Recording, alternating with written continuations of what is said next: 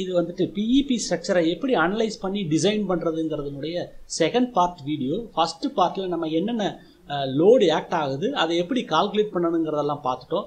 இப்போ எப்படி ஸ்டாடில் மாடல் பண்ணுறதுன்னு சொல்லிட்டு நம்ம பார்த்துருவோம்.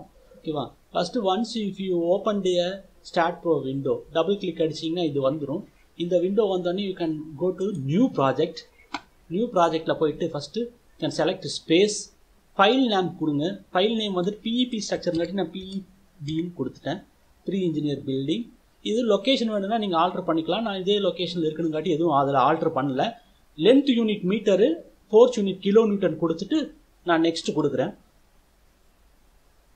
ஸோ அதுக்கப்புறம் நம்ம மாடல் கிரியேட் பண்ணுறதுக்கு டிஃப்ரெண்ட் ஆப்ஷன்ஸ் அதில் கொடுத்துருக்காங்க. அதில் நானே ஃபுல்லாக கிரியேட் பண்ணிக்கலாங்கிறதுனால அதை செலக்ட் பண்ணியாச்சு. அது ஆல்ரெடி செலக்ட் ஆகியே இருக்குது. அதில் அடுத்து வந்துட்டு எதை கிளிக் பண்ணிடுறேன்? ஃபினிஷ் கிளிக் பண்ணிடுறேன். ஸோ அப்போ விண்டோ ஓப்பன் ஆகும். நான் வந்துட்டு ஃபஸ்ட்டு ஒரு டூ டி ஃப்ரேமை தான் மாடல் பண்ண போகிறேன் ஏன் சார் த்ரீ டியை பண்ணலையா? அப்படின்னு நீங்கள் கேட்பீங்க டூ டியை பண்ணி நம்ம அதனுடைய டைமென்ஷன்ஸ் எல்லாமே வந்துட்டு ஆக்டாக லோடு லோடுக்கு தகுந்த மாதிரி டிஃப்ரெண்ட் லோடு காம்பினேஷன் எல்லாம் தாங்குற மாதிரி ஆப்டிமைஸ் பண்ணிட்டு அதுக்கப்புறம் தான் வந்துட்டு நம்ம எதுக்கே போகணும்னு த்ரீ டி மாடலிங்க்கே போகணும். டூ டி மாடலிங் பண்ணி டைமென்ஷன்ஸை ஆப்டிமைஸ் பண்ணி ஃபைனலைஸ் பண்ணதுக்கப்புறம் தான் எதுக்கே போகணும்? த்ரீ டி மாடலிங்க்கே போகணும். இதுதான் வந்துட்டு யூஸ்வல் ப்ராக்டிஸு ஓகேவா சரி இப்போ வந்துட்டு விண்டோ ஓப்பன் ஆகிடுச்சுன்னு வச்சுப்போம் ஓப்பன் ஆன உடனே இந்த சைடு இருக்கிறது வந்துட்டு கிரிட்டு தெரியுது. அப்புறம் வந்துட்டு அந்த கிரிட்டினுடைய டைமென்ஷன்ஸ் எப்படி எடிட் பண்ணலான்னு இருக்குது. ஃபஸ்ட்டு இங்கே ஒரு கிளிக் அடிங்க. அதுக்கப்புறம் இந்த இதை வந்துட்டு என்ன பண்ணிடுங்க? க்ளோஸ் பண்ணிவிடுங்க அதுக்கப்புறம் நோடு தெரியும். அந்த நோடு எக்ஸ் இருக்கிற இடத்துல ஒரு கிளிக் அடித்து நான் என்ன பண்ணுறேன் ஃபஸ்ட்டு நோடு க்ரியேட் பண்ணுறேன் zero Y zero Z zero ஒரே ஒரு நோடு க்ரியேட் பண்ணிட்டேன். இப்போ நான் வந்துட்டு மாடல் க்ரியேட் பண்ண போகிறது எந்த பிளேனில் க்ரியேட் பண்ண போகிறேன் அப்படின்னு சொல்லி பார்த்தீங்கன்னா எக்ஸ்ஒய் பிளேனில் க்ரியேட் பண்ண போகிறேன் சரியா? குளோபல் ஆக்சிஸ்னுடைய இதை வந்துட்டு இங்கே வருங்க லெஃப்ட் பாட்டமில் கொடுத்துருப்பாங்க. It will follow orthogonal right hand rule சரியா? எக்ஸ் இந்த டைரக்ஷனில் இருக்குது ஒய் இந்த டைரக்ஷனில் இருக்குது இஜெட்டு இந்த டைரக்ஷனில் இருக்குது. சரியா? இப்போ நடுவில் ஒரு கிளிக் அடிங்க. ஸோ அப்போ இது வந்துட்டு விண்டோ வந்துட்டு ஆக்டிவேட் ஆகிடுச்சு இப்போ நம்ம என்ன பண்ணிடலாம் அப்படின்னு சொன்னால் ஃப்ரண்ட் வியூவில் வைக்கிறேன். பாருங்க ஃப்ரண்ட் வியூவில் வச்சுட்டேன். அப்போ என்ன ஆயிடுச்சு? நமக்கு எக்ஸ் ஒய் பிளேனில் வந்துருச்சு. இப்போ நோடு கர்சரில் போகிறேன் இந்த நோடை ஃபஸ்ட்டு செலக்ட் பண்ணிட்டேன். நம்மளுடைய ஃப்ரேமுடைய ஸ்பேன் பார்த்தீங்கன்னு வச்சுக்கோங்க. எவ்வளோ டுவெண்ட்டி மீட்டரு ஸோ அப்போ எந்த டைரெக்ஷனில் வரணும்? பாசிட்டிவ் எக்ஸ் டைரெக்ஷனில் நான் டிரான்ஸ்லேஷனல் ரிப்பீட் கொடுக்கணும். ஸோ டிரான்ஸ்லேஷனல் ரிப்பீட்டுக்கு போயிட்டேன் எக்ஸ் டைரெக்ஷனில் எவ்வளோ தூரத்தில் எனக்கு வேணும்? டுவெண்ட்டி மீட்டரில் வேணும். இப்போதைக்கு ஜாயின் பண்ணிக்குவோம். லிங்க் ஸ்டெப்ஸ் கொடுக்குறேன். அதுக்கப்புறமா அதை வந்துட்டு டெலீட் பண்ணிக்கலாம். லிங்க் ஸ்டெப்ஸ் கொடுத்துட்டு ஓகே கொடுக்குறேன். ஸோ அப்போ என்ன ஆயிடுச்சு அப்படின்னு சொன்னால் பேஸில் ஒரு லைன் ஃபார்ம் ஆயிடுச்சு. ஓகேவா இப்போ இந்த லைனை செலக்ட் பண்ணிவிட்டு இது வந்துட்டு நம்ம ஒரு பீமை செலக்ட் பண்ண போகிறோம் அப்போ நோடு கர்சரில் இருந்தால் ஓகே ஆகாது. ஸோ அப்போ என்ன கர்சருக்கு போயிடுறீங்க? பீம் கர்சருக்கு போகிறீங்க அதை செலக்ட் பண்ணுறீங்க செலக்ட் பண்ணிவிட்டு இந்த green colour indicate start point அது மேலே வச்சாலே கலர் சேஞ்ச் ஆகுது. Blue colour indicate end point சரியா? ஸோ இது நல்லா ஞாபகம் வச்சுக்கோங்க. இப்போ நான் என்ன பண்ணுறேன் செலக்ட் பண்ணிவிட்டு டிரான்ஸ்லேஷனல் ரிப்பீட் போகிறேன் ஒய் டைரக்ஷனில் நம்மளுடைய காலத்துடைய ஹைட் எவ்வளோன்னு சொல்லி பார்த்தீங்கன்னா ஃபைவ் மீட்டர் ஸோ அப்போ வந்துட்டு எவ்வளோ பண்ணிட்டேன்? டிஃபால்ட் ஸ்பேஸ் ஸ்பேஸிங்கில் ஃபைவ் மீட்டர் என்ட்ரி பண்ணணும். ஆல்ரெடி ஃபைவ் இருக்கிறதுனால விட்டுட்டேன். அது கொடுத்துட்டேன். இப்போ ஓகே கொடுத்துட்டேன். ஸோ அப்போ இப்போ ரிப்பீட் ஆகிடுச்சு ரிப்பீட் ஆனதுக்கப்புறம் அது செலக்ட் பண்ணது ஹைலைட்டாகவே இருக்குது. இப்போ தான் கீழே ஜாயின் பண்ண வேண்டியது இல்லை அதை நான் மட்டும் என்ன பண்ணிடுறேன்? டெலீட் கொடுத்துட்றேன். ஓகே டெலீட் ஆகிடுச்சு சரியா? சார் இது வந்துட்டு ஃப்ரேம் வந்துட்டு போர்ட்டல் ஃப்ரேம் மாதிரி இருக்குது. நடுவுனுடைய நடுவில் ஹைட் வந்துட்டு நமக்கு எவ்வளோ இருக்கணும்? அப்படின்னு சொல்லி பார்த்தீங்க அப்படின்னு சொன்னால் ஒன் மீட்டர் இருக்கணும். ஒன் இஸ்டு டென் ரேஷியோவுக்கு நம்ம வந்துட்டு கொடுக்கணும். ஸோ அப்போ பத்து மீட்டர் ஹரிசண்டலாக வந்தால் ஒரு மீட்டர் வந்துட்டு வெர்டிக்கலாக போகணும். இது இருபது மீட்டர் ஸ்பேனு சென்டர் வரைக்கும் வரும்போது எவ்வளோ பத்து மீட்ரு அப்போ ரைஸ் ஒரு மீட்ரு சரி முதல்ல வந்துட்டு மிடில் ஒரு நோடை க்ரியேட் பண்ணுவோம். சரியா?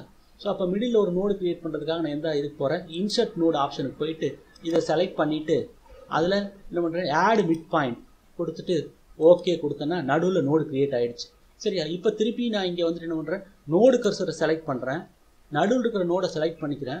அதுக்கப்புறம் ஜாமெட்ரியில் போகிறேன் என்ன பண்ணுறேன் நான் அதையே?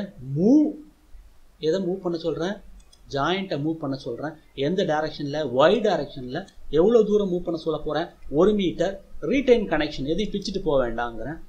ஓகே கொடுத்துட்டேன். ஸோ இப்போ என்ன ஆகுது? மூவ் ஆயிடுச்சு. ஸோ இப்போ என்னுடைய போர்ட்டல் ஃப்ரேம் ரெடி ஆயிடுச்சு. ஓகேவா இப்போ பாருங்கள் மறுபடியும் பீம் கர்சரில் போயிட்டு இது மேலே வைக்கிறேன். ஸ்டார்ட் பாயிண்ட் இங்கே லெஃப்ட்டில் இருக்குது. Green colour indicate starting point blue colour indicate end point இதில் பார்த்தீங்கன்னா எப்படி இருக்குது? க்ரீன் கலர் இங்கே இருக்குது ஸ்டார்டிங் பாயிண்ட்டு ப்ளூ கலர் அங்கே இருக்குது. சரி இங்கேருந்தே ஸ்டார்ட் ஆகிற மாதிரி இருந்தால் யூனிஃபார்மாக இருக்கும் அப்படின்னு நினைக்கிறதுனால திருப்பி அதை செலக்ட் பண்ணி என்ன பண்ணிடுறேன்? டெலீட்டுன்னு கொடுத்துட்றேன். கொடுத்துட்டு திரும்பி நான் என்ன பண்ணுறேன் ஆட் பீன்ஸ் போயிட்டு இந்த தான் ஸ்டார்டிங் பாயிண்ட் ஒன்று அங்கே ஸ்டார்ட் பண்ணி இங்கே எண்டு கொடுத்துட்றேன். ஸோ அப்போ பின்னாடி வந்துட்டு சில ப்ராப்பர்ட்டிஸ் அசைன் பண்ணும்போது யூனிஃபார்மாக அசைன் ஆகணுங்கிறக்காக தான் இந்த வேலையை நான் செஞ்சுக்கிறேன். ஓகேவா இப்போ எஸ்கேப் கொடுங்க. இந்த கமாண்ட்லேருந்து வெளியே வந்துடலாம். ஸோ வெளியே வந்தாச்சு. சரி இப்போ மாடல் க்ரியேட் பண்ணியாச்சு. இப்போ இந்த மாடலுக்கு நம்ம என்ன இது பண்ணணும்? டைமென்ஷன்ஸ் கொடுக்கணும். ஸோ அப்போ நான் எங்கே போகிறேன் கமெண்ட்ஸில் போகிறேன் மெம்பர் ப்ராப்பர்ட்டி ஆப்ஷன் அதில் வந்துட்டு எதுக்கு போகிறேன் டேப்பர்டு இங்கே என்ன செக்ஷன் யூஸ் பண்ண சொல்லியிருக்காங்க? டேப்பர்டு செக்ஷன்ஸ் யூஸ் பண்ண சொல்லியிருக்காங்க. அதை யூஸ் பண்ணி தான் செக்ஷன்ஸை ஆப்டிமைஸ் பண்ண சொல்லியிருக்காங்க. டேப்பர்டு செக்ஷன் வேற ஒன்றும் இல்லை. ஐ செக்ஷன் தான். ஐ செக்ஷன் வந்துட்டு நம்ம என்ன பண்ணணும் அப்படின்னு சொன்னோம்னா வேணுங்கிற டைமென்ஷன்ஸ் நம்ம அதிலேயே கொடுத்துக்கலாம். மூணு பிளேட்டை ஜாயின் பண்ணி ஐ செக்ஷன் பண்ணுறாங்க ஃபஸ்ட்டு யூனிஃபார்மாக இருக்கிற ஒரு சைஸ் கொடுக்குறேன். ரன் பண்ணிவிட்டு அதுக்கப்புறம் ஆப்டிமைஸ் பண்ணுறப்ப என்ன பண்ணுறேன் நான் பண்ண போகிறேன்னு சொன்னோம்னா சைஸஸை ஆல்ட்ரு பண்ண போகிறேன் எந்த சைஸ் வைக்கும்போது கம்மியான வெயிட்டில் இது ரன் ஆகுதோ கொடுக்குற லோடுக்கு அதை தான் வந்துட்டு ஆப்டிமைஸ்டு சைஸ்ன்னு வச்சுக்கலாம். அப்போ வர கிடைக்கிற வெயிட் வந்துட்டு பழைய வெயிட்டோட கம்மியாக இருக்குதான்னு சொல்லிட்டு நம்ம பார்த்துக்கலாம். சரியா? ஸோ அப்போ ஃபஸ்ட்டு கமெண்ட்ஸில் போகிறேன் நான் என்ன பண்ணுறேன் மெம்பர் ப்ராப்பர்ட்டியில் போயிட்டு டேப்பர்டு ஆப்ஷன் ஸோ அப்போ இந்த window I section material steel அது இருக்குது அதுலேயே விட்டுறலாம். Depth of the section at the starting பாயிண்டில் டெப்த் எவ்வளோன்னு கேட்குறாங்க டெப்த் வந்துட்டு ஒரு பாயிண்ட் செவன் ஃபைவ் மீட்டர் வைக்கிறேன்னு வச்சுக்கோங்க செவன் ஃபிஃப்டி எம்எம் வைக்கிறேன். So thickness of the web ஒரு டுவெல் எம்எம் வைக்கிறேன்னு வச்சுக்கோங்க பாயிண்ட் ஜீரோ ஒன் டூ மீட்டரில் கன்வெர்ட் பண்ணி கொடுத்துருவேன் அடுத்து depth of the section at the end node சரி அது யூனிஃபார்மாக இப்போதைக்கு கொடுப்போம். அதுக்கப்புறமா நம்ம ஆல்டர் பண்ணிக்குவோம். பெண்டிங் ஒன் டயக்ராம் சேப்புக்கு தகுந்த மாதிரின்னு சொல்லிட்டு என்ன பண்ணுறேன் அதுவும் பாயிண்ட் செவன் ஃபைவ் கொடுக்குறேன் width of the top flange point seven five கொடுத்துருக்கறதுனால இங்கே ஒரு பாயிண்ட் த்ரீ கொடுத்துட்றேன். அடுத்து thickness of the top flange thickness of the top flange பிளாஞ்சுடைய thickness so அப்போ பிளாஞ்சுடைய திக்னஸ் வந்து வெப்போட ஜாஸ்தியாக கொடுப்போம். அப்போ அது ஒரு சிக்ஸ்டீன் எம்எம் கொடுக்குறேன்னு வச்சுங்க. Point zero one six sixteen mm கொடுத்தாச்சு. மீதி ரெண்டே கொடுக்காட்டி இதில் இருக்கிறதுலேயே வந்துடும் எது? Width of the bottom flange thickness of the bottom flange இது இது என்ட்ரி பண்ணலினாலும் இந்த வேல்யூவே இங்கேயும் வந்துடும் ஓகேவா இதை ஆடு கொடுத்துட்றேன் கொடுத்துட்டு இதை க்ளோஸ் பண்ணிக்கிறேன். சார் ஒரே செக்ஷன் தான் கொடுத்துருக்குறீங்க. அப்போ காலமுக்கும் ராப்டர் ரெண்டுக்கும் அதே தான் அசைன் பண்ண போகிறீங்களா ஆமாம் அப்புறமா நம்ம ரன் ஆனதுக்கு அப்புறம் வந்துட்டு என்ன பண்ணிக்கலாம்? டைமென்ஷன் ஆல்டர் பண்ணிக்கலாம். ஸோ அப்போ டேப்பர் செக்ஷன் கிரியேட் பண்ணது செலக்ட் பண்ணிவிட்டு என்ன பண்ணிடுறேன் assign to view assign yes எல்லா பக்கம் அசைன் ஆயிடுச்சு அசைன் ஆயிடுச்சா? எப்படி அசைன் ஆயிருக்குன்னு பார்க்கலாமா? இதை க்ளோஸ் பண்ணிவிடுங்க இதில் ஒரு கிளிக் அடிச்சுட்டு திருப்பி எங்கே போகிறீங்க ரெண்டட் வியூவில் போங்க. ரெண்டட் வியூவில் இன்னொரு விண்டோ ஓப்பன் ஆகி பாருங்கள் நமக்கு யூனிஃபார்மான ஐ செக்ஷன் நான் கொடுத்துருக்குறேன். சரியா? இந்த செக்ஷன் வந்துட்டு பில்டப் செக்ஷன் நானே க்ரியேட் பண்ணிக்கிறேன். Seven fifty mm depth so breadth of the flange வந்துட்டு three hundred mm thickness of the flange வந்துட்டு சிக்ஸ்டீன் எம்எம் வெப்புடைய திக்னஸ் டுவெல் எம்எம் இருக்க மாதிரி கொடுத்துருக்குறேன். இந்த செக்ஷன் பாஸ் ஆகுதா இல்லையான்னு சொல்லி பார்க்கலாம். இப்போ புரிஞ்சிருச்சா? சரியா? இப்போ க்ளோஸ் பண்ணிக்கலாம் ஸோ இப்போ செக்ஷன்ஸ் கொடுத்து முடிச்சாச்சு. அடுத்தது சப்போர்ட் கண்டிஷன் கொடுக்கணும். எகெயின் கமாண்ட்ஸில் போகிறீங்க சப்போர்ட் ஸ்பெசிஃபிகேஷன் போகிறீங்க ஃபிக்ஸ்டு ஃபிக்ஸ்டு கண்டிஷன் கொடுத்துருங்க. ஏன்னா விண்டோட ஆக்ட் ஆகிறதுனால ஃபிக்ஸ்டு கண்டிஷன் கொடுக்குறது பெட்டர் ஸோ அப்போ ஃபிக்ஸ்டு கொடுத்துட்டு ஆடு கொடுத்துட்டிங்கன்னா ஃபிக்ஸ் ரெண்டு கண்டிஷன் இங்கே வந்துச்சு அதை செலக்ட் பண்ணிவிட்டு யூஸ் கர்சர் டு அசைனில் அசைனில் போயிட்டு இந்த எண்டுக்கும் இந்த எண்டுக்கு அசைன் பண்ணிவிட்டு இந்த விண்டோவை க்ளோஸ் பண்ணிடலாம். ஸோ இப்போ சப்போர்ட் கண்டிஷன் கொடுத்தாச்சு. அடுத்த ஸ்டேஜ் என்ன சார் அப்படின்னு சொன்னோம்னா லோடிங் தான். கமாண்ட்ஸில் போகிறீங்க அடுத்தது லோடிங் லோடிங்கில் ஃபஸ்ட்டு ப்ரைமரி லோடு ப்ரைமரி லோடில் லோடு டைப் என்னது? டெட் லோடு கொடுத்துறீங்க. ஃபஸ்ட் என்ன கொடுத்துடலாம் டிஎல் டெட் லோடு ஓகேவா ஆடு கொடுத்துடலாம் அடுத்தது என்ன கொடுத்துடலாம் லைவ் லோடு கொடுத்துடலாம். லைவ் லோடுக்கு என்னென்னு வச்சுக்கலாம். பேர் எல் எல் அப்படி கொடுத்துடலாம். அடுத்தது விண்ட் லோடு சரியா? ஸோ விண்ட் லோடு வந்துட்டு நம்ம எத்தனை லோடு கேசஸ் எத்தனை லோட்ஸ் வந்துட்டு நம்ம வந்துட்டு பாசிபிள் கேசஸ் எல்லாம் அரைவ் பண்ணி வச்சுருக்கோம்னா ஆறு கேசஸ் வந்துட்டு நம்ம ஆல்ரெடி அரைவ் பண்ணி வச்சுருக்கிறோம். எங்கே? நம்ம போன இதுலேயே நம்ம பண்ணி வச்சுருக்கிறோம். பாருங்கள் ஆறு கேசஸ் அது எல்லாமே கால்குலேஷன்ஸ் போட்டுட்டு என்ன மாதிரி வரணும்னு சொல்லிட்டு பாருங்கள் W L one W L two W L three L four L five L six ஆறு கேசஸ் ஃபார்ம் பண்ணி வச்சிருக்கிறோம். அதில் அப்புறம் லோடு காம்பினேஷன்ஸ் கொடுத்துருக்குறோம். ஆஸ் பர் கோடு என்னென்ன இது பண்ணணும்னு சொல்லிட்டு. ஓகேவா ஸோ அப்போ ஃபஸ்ட்டு வந்துட்டு நம்ம ஆறு லோடு கேஸை ஃபார்ம் பண்ணிக்குவோம். WL one wind load one add முடிஞ்சிச்சா? அடுத்தது டபுள்யூ எல் டூ ஆட் முடிஞ்சுதா அடுத்தது டபுள்யூ எல் த்ரீ ஆட் அடுத்தது டபிள்யூஎல் ஃபோர் ஆட் அடுத்தது டபிள்யூஎல் ஃபைவ் ஆட் அடுத்தது WL six add close so அப்போ எல்லா லோடு கேசி கொடுத்தாச்சு. இதில் ஒவ்வொன்றிலையும் எவ்வளோ லோடு கொடுக்கணுங்கிறத ஒவ்வொன்றா அப்ளை பண்ணுவோம் ஃபஸ்ட்டு டெட் லோடு பார்ப்போம். டெட் லோடு செலக்ட் பண்ணிவிட்டு ஆடை ப்ரெஸ் பண்ணிங்கன்னு சொன்னோம்னா இன்னொரு விண்டோ ஓப்பன் ஆகும். அதில் self weight Y minus one add close சரி இந்த ஆப்ஷன்னால என்ன ஆகும் அப்படின்னா இப்போ நம்ம கிரியேட் பண்ணியிருக்கிற செக்ஷனுடைய வெயிட்டை இது வந்துட்டு எடுத்துக்கும். சரியா?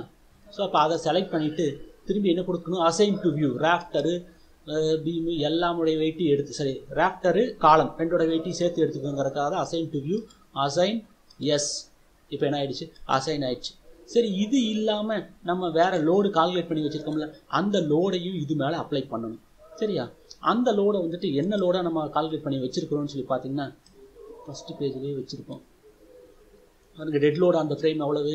Zero point nine kilo newton per metre இது வந்துட்டு ராஃப்டர்லேயும் அப்ளை பண்ணணும் காலம்லேயும் அப்ளை பண்ணணும். ஏன் சார் ராஃப்டரில் மட்டும் அப்ளை பண்ணால் போதாதா? மேலே தானே வந்துட்டு ரூஃப் கவரிங் மெட்டீரியல் ஷீட் வருது மெட்டல் ஷீட் வருதுன்னா சைட்லேயும் கிளேடிங் யூனிட் வருது இல்லை அதோட வெயிட் காலத்துக்கு தானே போகும். அதுவும் யூடியெல்லாம் நான் என்ன பண்ணிக்கிறேன்? அந்த வெயிட்டையும் காலத்துக்கு வரணுங்கிறக்காக நான் அதையும் அப்ளை பண்ண போகிறேன் அது எவ்வளவு? Zero point nine kilo newton per metre ஓகேவா ஸோ அப்போ நான் என்ன பண்ணுறேன் டெட் லோடு செலக்ட் பண்ணிவிட்டு ஆடுன்னு போயிட்டு இந்த தடவை நான் என்ன ஆப்ஷனில் போகிறேன் மெம்பர் லோடு ஆப்ஷனில் போகிறேன் என்னுடைய வேல்யூ எவ்வளவு? மேக்னிடியூட் இன்னொரு தடவை பார்த்துக்கிறேன். ஜீரோ பாயிண்ட் பாருங்க இங்கே இருக்கு பாருங்கள் zero point nine kilo newton per metre ஓகேவா இந்த லோடு தான் நான் என்ன பண்ணணும்? அப்ளை பண்ணணும். டெட் லோடு வந்துட்டு என்ன load gravity load it will act in the vertically downward direction சரியா?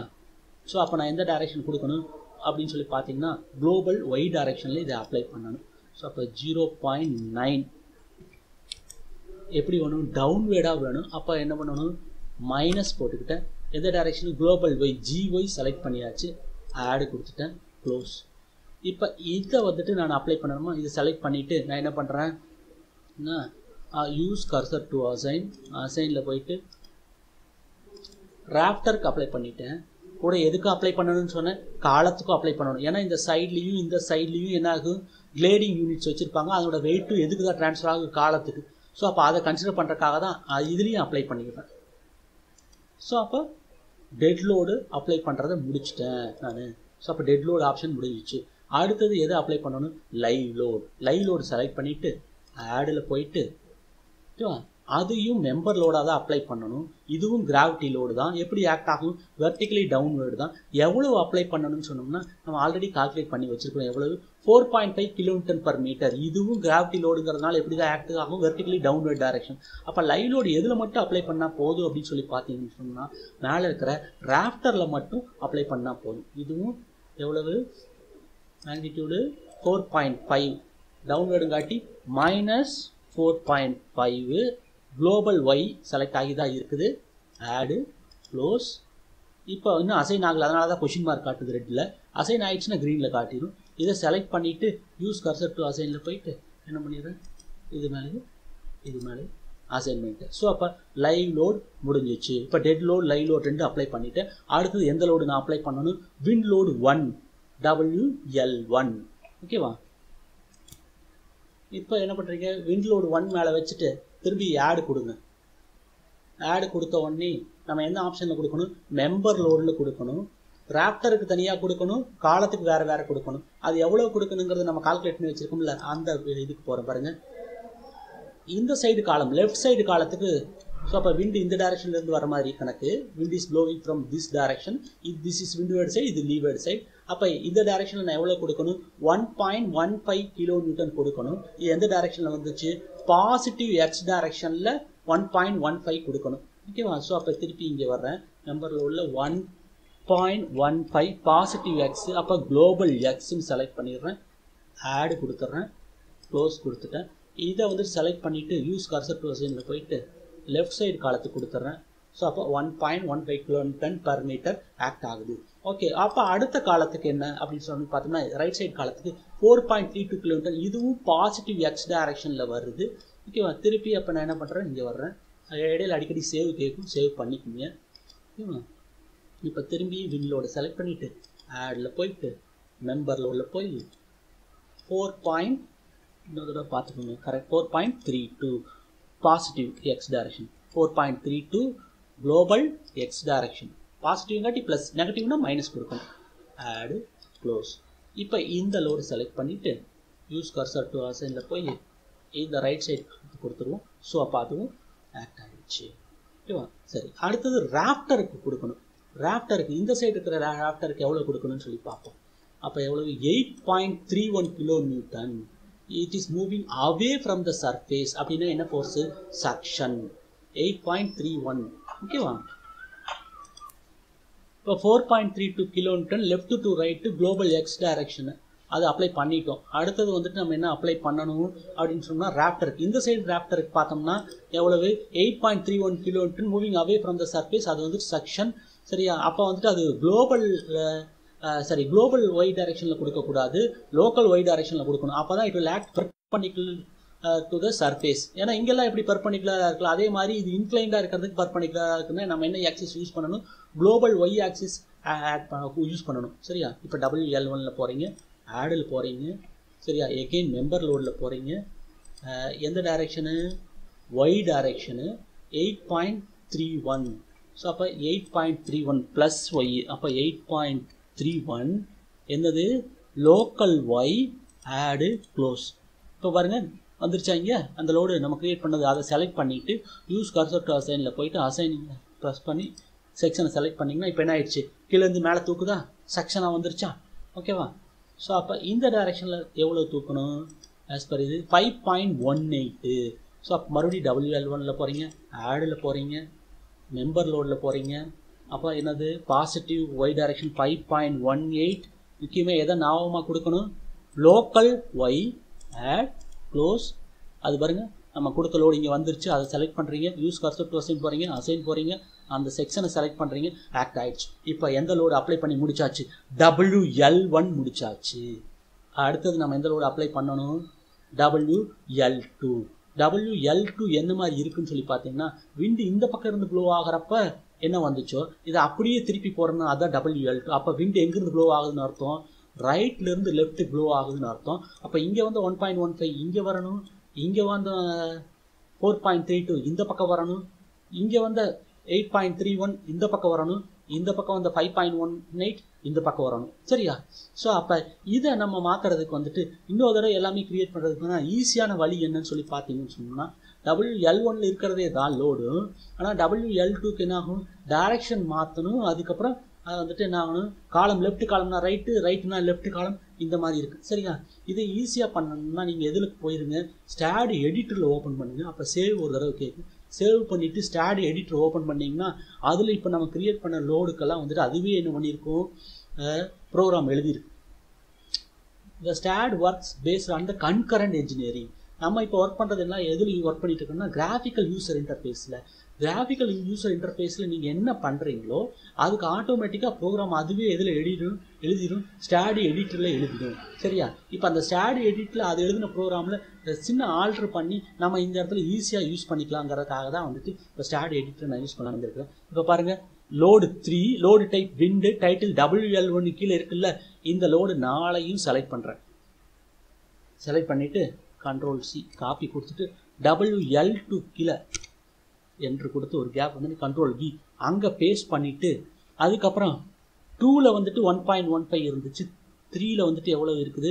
ஃபோர் பாயிண்ட் த்ரீ டூ அப்போ அந்த அதை லோடை மாற்றிடுறேன் த்ரீயை எங்கே வந்துடணும்? டூன்னு மாற்றிடுறேன் டூவை எங்கேன்னு மாற்றிடுறேன் த்ரீன்னு மாற்றிடுறேன் அதே மாதிரி இங்கே ஃபோரை வந்துட்டு என்னன்னு மாற்றிடுறேன் ஃபைவ்னு மாற்றிடுறேன் ஃபைவ் என்ன லோடுன்னு மாற்றிடுறேன் ஃபோருன்னு மாற்றிடுறீங்கன்னா டேரக்ஷன் மாற்றலை டேரக்ஷன் அங்கே போயிட்டு கரெக்ட் பண்ணிக்கலாம். இப்போ இதை மாற்றினது எல்லாமே வந்துட்டு நீங்கள் என்ன பண்ணிடுவோம் ஒரு தடவை சேவ் பண்ணிவிட்டு அப்புறமா இந்த எடிட்டர் க்ளோஸ் பண்ணிங்கன்னா இதுக்கு எல்லாமே ஆட்டோமேட்டிக்காக கிராஃபிக்கல் யூசர் இன்டர்ஃபேஸில் உள்ளார வந்துடும் பாருங்க.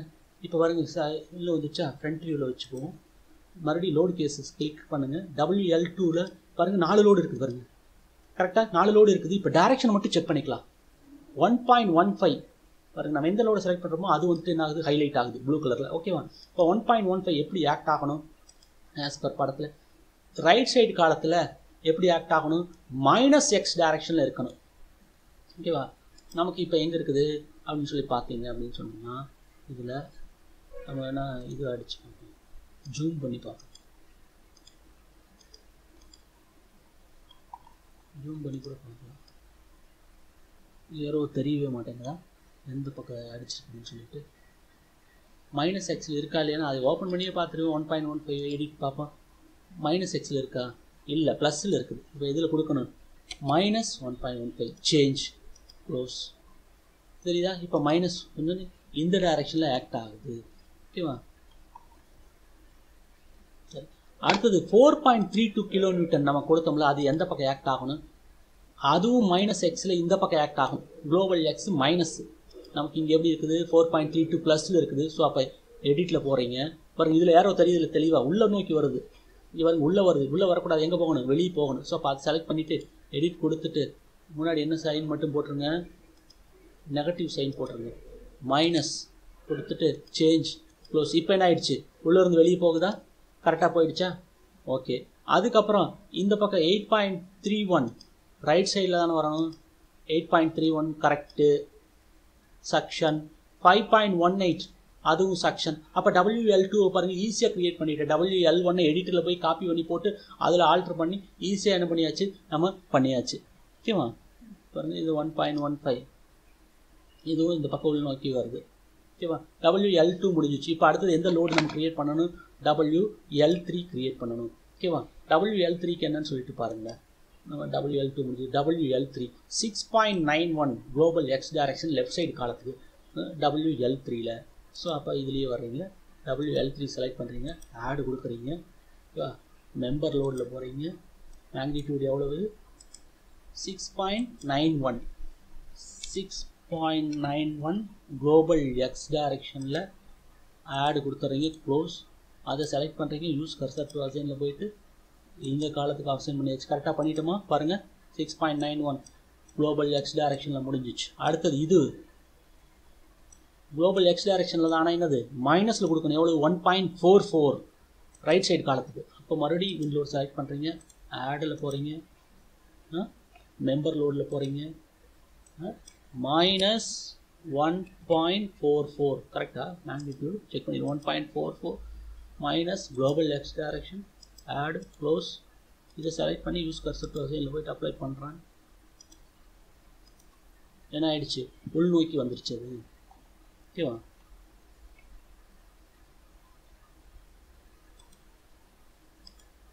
தெரியுதா? இப்போ ஜூமில் உள்நோக்கி இருக்கா? உள்நோக்கி இருக்கா? இதே மாதிரி ஓகே இந்த ரெண்டு முடிச்சிச்சு அடுத்தது டூ பாயிண்ட் ஃபைவ் ஃபைவ் இந்த சைடுக்கு அது வந்து சக்ஷன் ஓகேவா ஸோ அப்போ மறுபடியும் டபிள்யூஎல் த்ரீ போகிறேன் ஆடு போகிறேன் மெம்பர் லோடில் போகிறேன் மேக்னிடியூட் எவ்வளோன்னு சொல்லி பார்த்தா எவ்வளோ two point five five two point five five எந்த டைரக்ஷனில் கொடுக்கணும் லோக்கல் ஒய் ஏன்னா wind டைர wind force always act normal to the contact surface சரியா? இதை லோக்கல் ஒயில் கொடுத்து ஆடு க்ளோஸு இப்போ பாருங்கள் ஃபுல் இது கொடுத்துருங்க.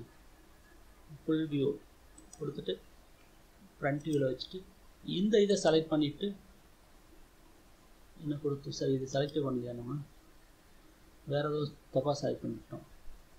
இந்த லோடு இருக்கிற மாதிரி கொடுத்துட்டோம். இப்போ இதையே செலக்ட் பண்ணிவிட்டு என்ன பண்ணுறீங்க டாகுல் லோடு கொடுத்து யூஸ் கர்சர் டு போயிட்டு இதை செலக்ட் பண்ணுங்க திருப்பி அப்ளை பண்ண போயிடுச்சு. ஸோ ஒரு தடவை தப்பாக அப்ளை பண்ண லோடை ரிமூவ் பண்ணணும்னு சொன்னோம்னா எந்த லோடை ரிமூவ் பண்ணணுமோ அதை செலக்ட் பண்ணிக்கணும் டாகிள் லோடை கிளிக் பண்ணிவிட்டு அப்புறம் அதுக்கே திரும்ப அசைன் பண்ணோம்னா என்ன ஆயிரும்? அன்செக் ஆயிரும். சரியா? இப்போ அது மறுபடியும் அப்ளை பண்ணாமல் போயிடும் அந்த லோடு போயிடுச்சா? இப்போ திரும்பி வந்துட்டு இந்த லோடு தான் அப்ளை பண்ணணும். அப்போ டாக் லோடை எடுத்து விட்டுருங்க. இந்த தான் தான் அப்ளை பண்ணணும். அதை செலக்ட் பண்ணிக்கி யூஸ் கர்சர் டூ போயிட்டு அசைனிங்கில் போயிட்டு எந்த மெம்பருக்கு அப்ளை பண்ணணும்? இதில். ஸோ அப்போ கீழேருந்து மேலே தூக்குதா? பார்த்துடலாமே. டூ பாயிண்ட் ஃபைவ் ஃபைவ் கீழேருந்து மேலே தூக்குது. அடுத்ததுக்கு எவ்வளோ ஜீரோ பாயிண்ட் ஃபைவ் எயிட் உள்நோக்கி வரணும். ஓகேவா ஸோ இப்போ இது வந்து கரெக்டாக இருக்கா இல்லையான்னு சொல்லிட்டு நம்ம என்ன பண்ணி பார்த்துடலாம்? ஜூம் பண்ணி பார்த்துடலாமா? ஓகே கரெக்டாக தான் ஆக்ட் ஆகிட்டு இருக்குது. அப்போ இப்போ என்ன பண்ணணும்? அந்த சைடு இருக்கிற ஃபேஸுக்கு நம்ம அப்ளை பண்ணணும். மறுபடியும் டபிள்யூஎல் த்ரீ ஆடில் போகிறீங்க சரியா. இப்போ மறுபடியும் மெம்பர் லோட் இதுவும் local Y direction zero point எவ்வளோ magnitude zero point five eight டவுன்வேர்டாக வரணும். அப்போ minus zero point five eight add close இப்போ அதை செலக்ட் பண்ணிவிட்டு எந்த மெம்பருக்கு அசைன் பண்ணணுமோ அசைன் பண்ணணும். நியூஸ் கர்சர் அசைன் இருக்குது. அசைனில் போயிட்டு கிடச்சோம்னா அப்ளை ஆகிடுச்சு இப்போ வேணால் விண்டோ வச்சு பாருங்கள் டவுன்வேர்டாக இருக்கா? டவுன்வேர்டாக இருக்குது ஸோ அப்போ கரெக்டாக லோடு வந்துட்டு என்ன ஆகிடுச்சு அப்ளை ஆகிடுச்சு டபுள்யூ எல் த்ரீல எல்லாத்துக்கும் ரெண்டு ரேப்டருக்கு அப்ளை பண்ணிட்டோம். ரெண்டு காலத்துக்கும் கரெக்டாக அப்ளை பண்ணியாச்சு. இப்போ டபுள்யூ எல் ஃபோர் அடுத்தது. ஓகேவா இப்போ டபுள்யூ எல் ஃபோர் அப்ளை பண்ணணும்னா நம்ம டபுள்யூ எல் ஒன்லேருந்து எல் டூ கொண்டு வரதுக்கு என்ன பண்ணோம் சேட் எடிட்டரில் போய் பண்ணோம்ல. அதே டெக்னிக்கு இங்கேயும் யூஸ் பண்ணிடலாம். டபுள்யூ எல் த்ரீல என்ன போட்டிருக்கோமோ அதை எல்லாமே அப்படியே நான் காப்பி பண்ணுறேன் காப்பி பண்ணிவிட்டு எங்கே பேஸ்ட் பண்ணுறேன் டபுள்யூ எல் ஃபோர் இருக்கிற இடத்துல பேஸ்ட் பண்ணிட்டேன். சரியா? மெம்பரை மட்டும் மாற்றி விட்றேன். அப்புறம் மற்றத டைரெக்ஷன் அங்கே போய் பார்த்துக்கலாம். டூக்கு பதிலாக எவ்வளோ போடுறேன்? த்ரீ த்ரீக்கு பதிலாக எவ்வளோ போடுறேன்? டூ ஃபோருக்கு பதிலாக எவ்வளோ போடுறேன்? ஃபைவ் ஃபைவுக்கு பதிலாக எந்த போடுறேன்? ஃபோர் அப்போ காலை லெஃப்ட் காலத்தை ரைட் காலத்துக்கு ஆக்ட் ஆகணும்னு சொல்கிறேன் லெஃப்ட் சைடு ராப்டருக்கு ரைட் சைடு ராப்டர் ஆக்ட் ஆகணும்னு சொல்கிறேன் ஆனால் டேரக்ஷன் இன்னும் பார்க்கல. அதை அங்கே போய் பார்த்துக்கலாம். சரியா? ஆல்டர் பண்ணிக்கலாம். அங்கே போய்.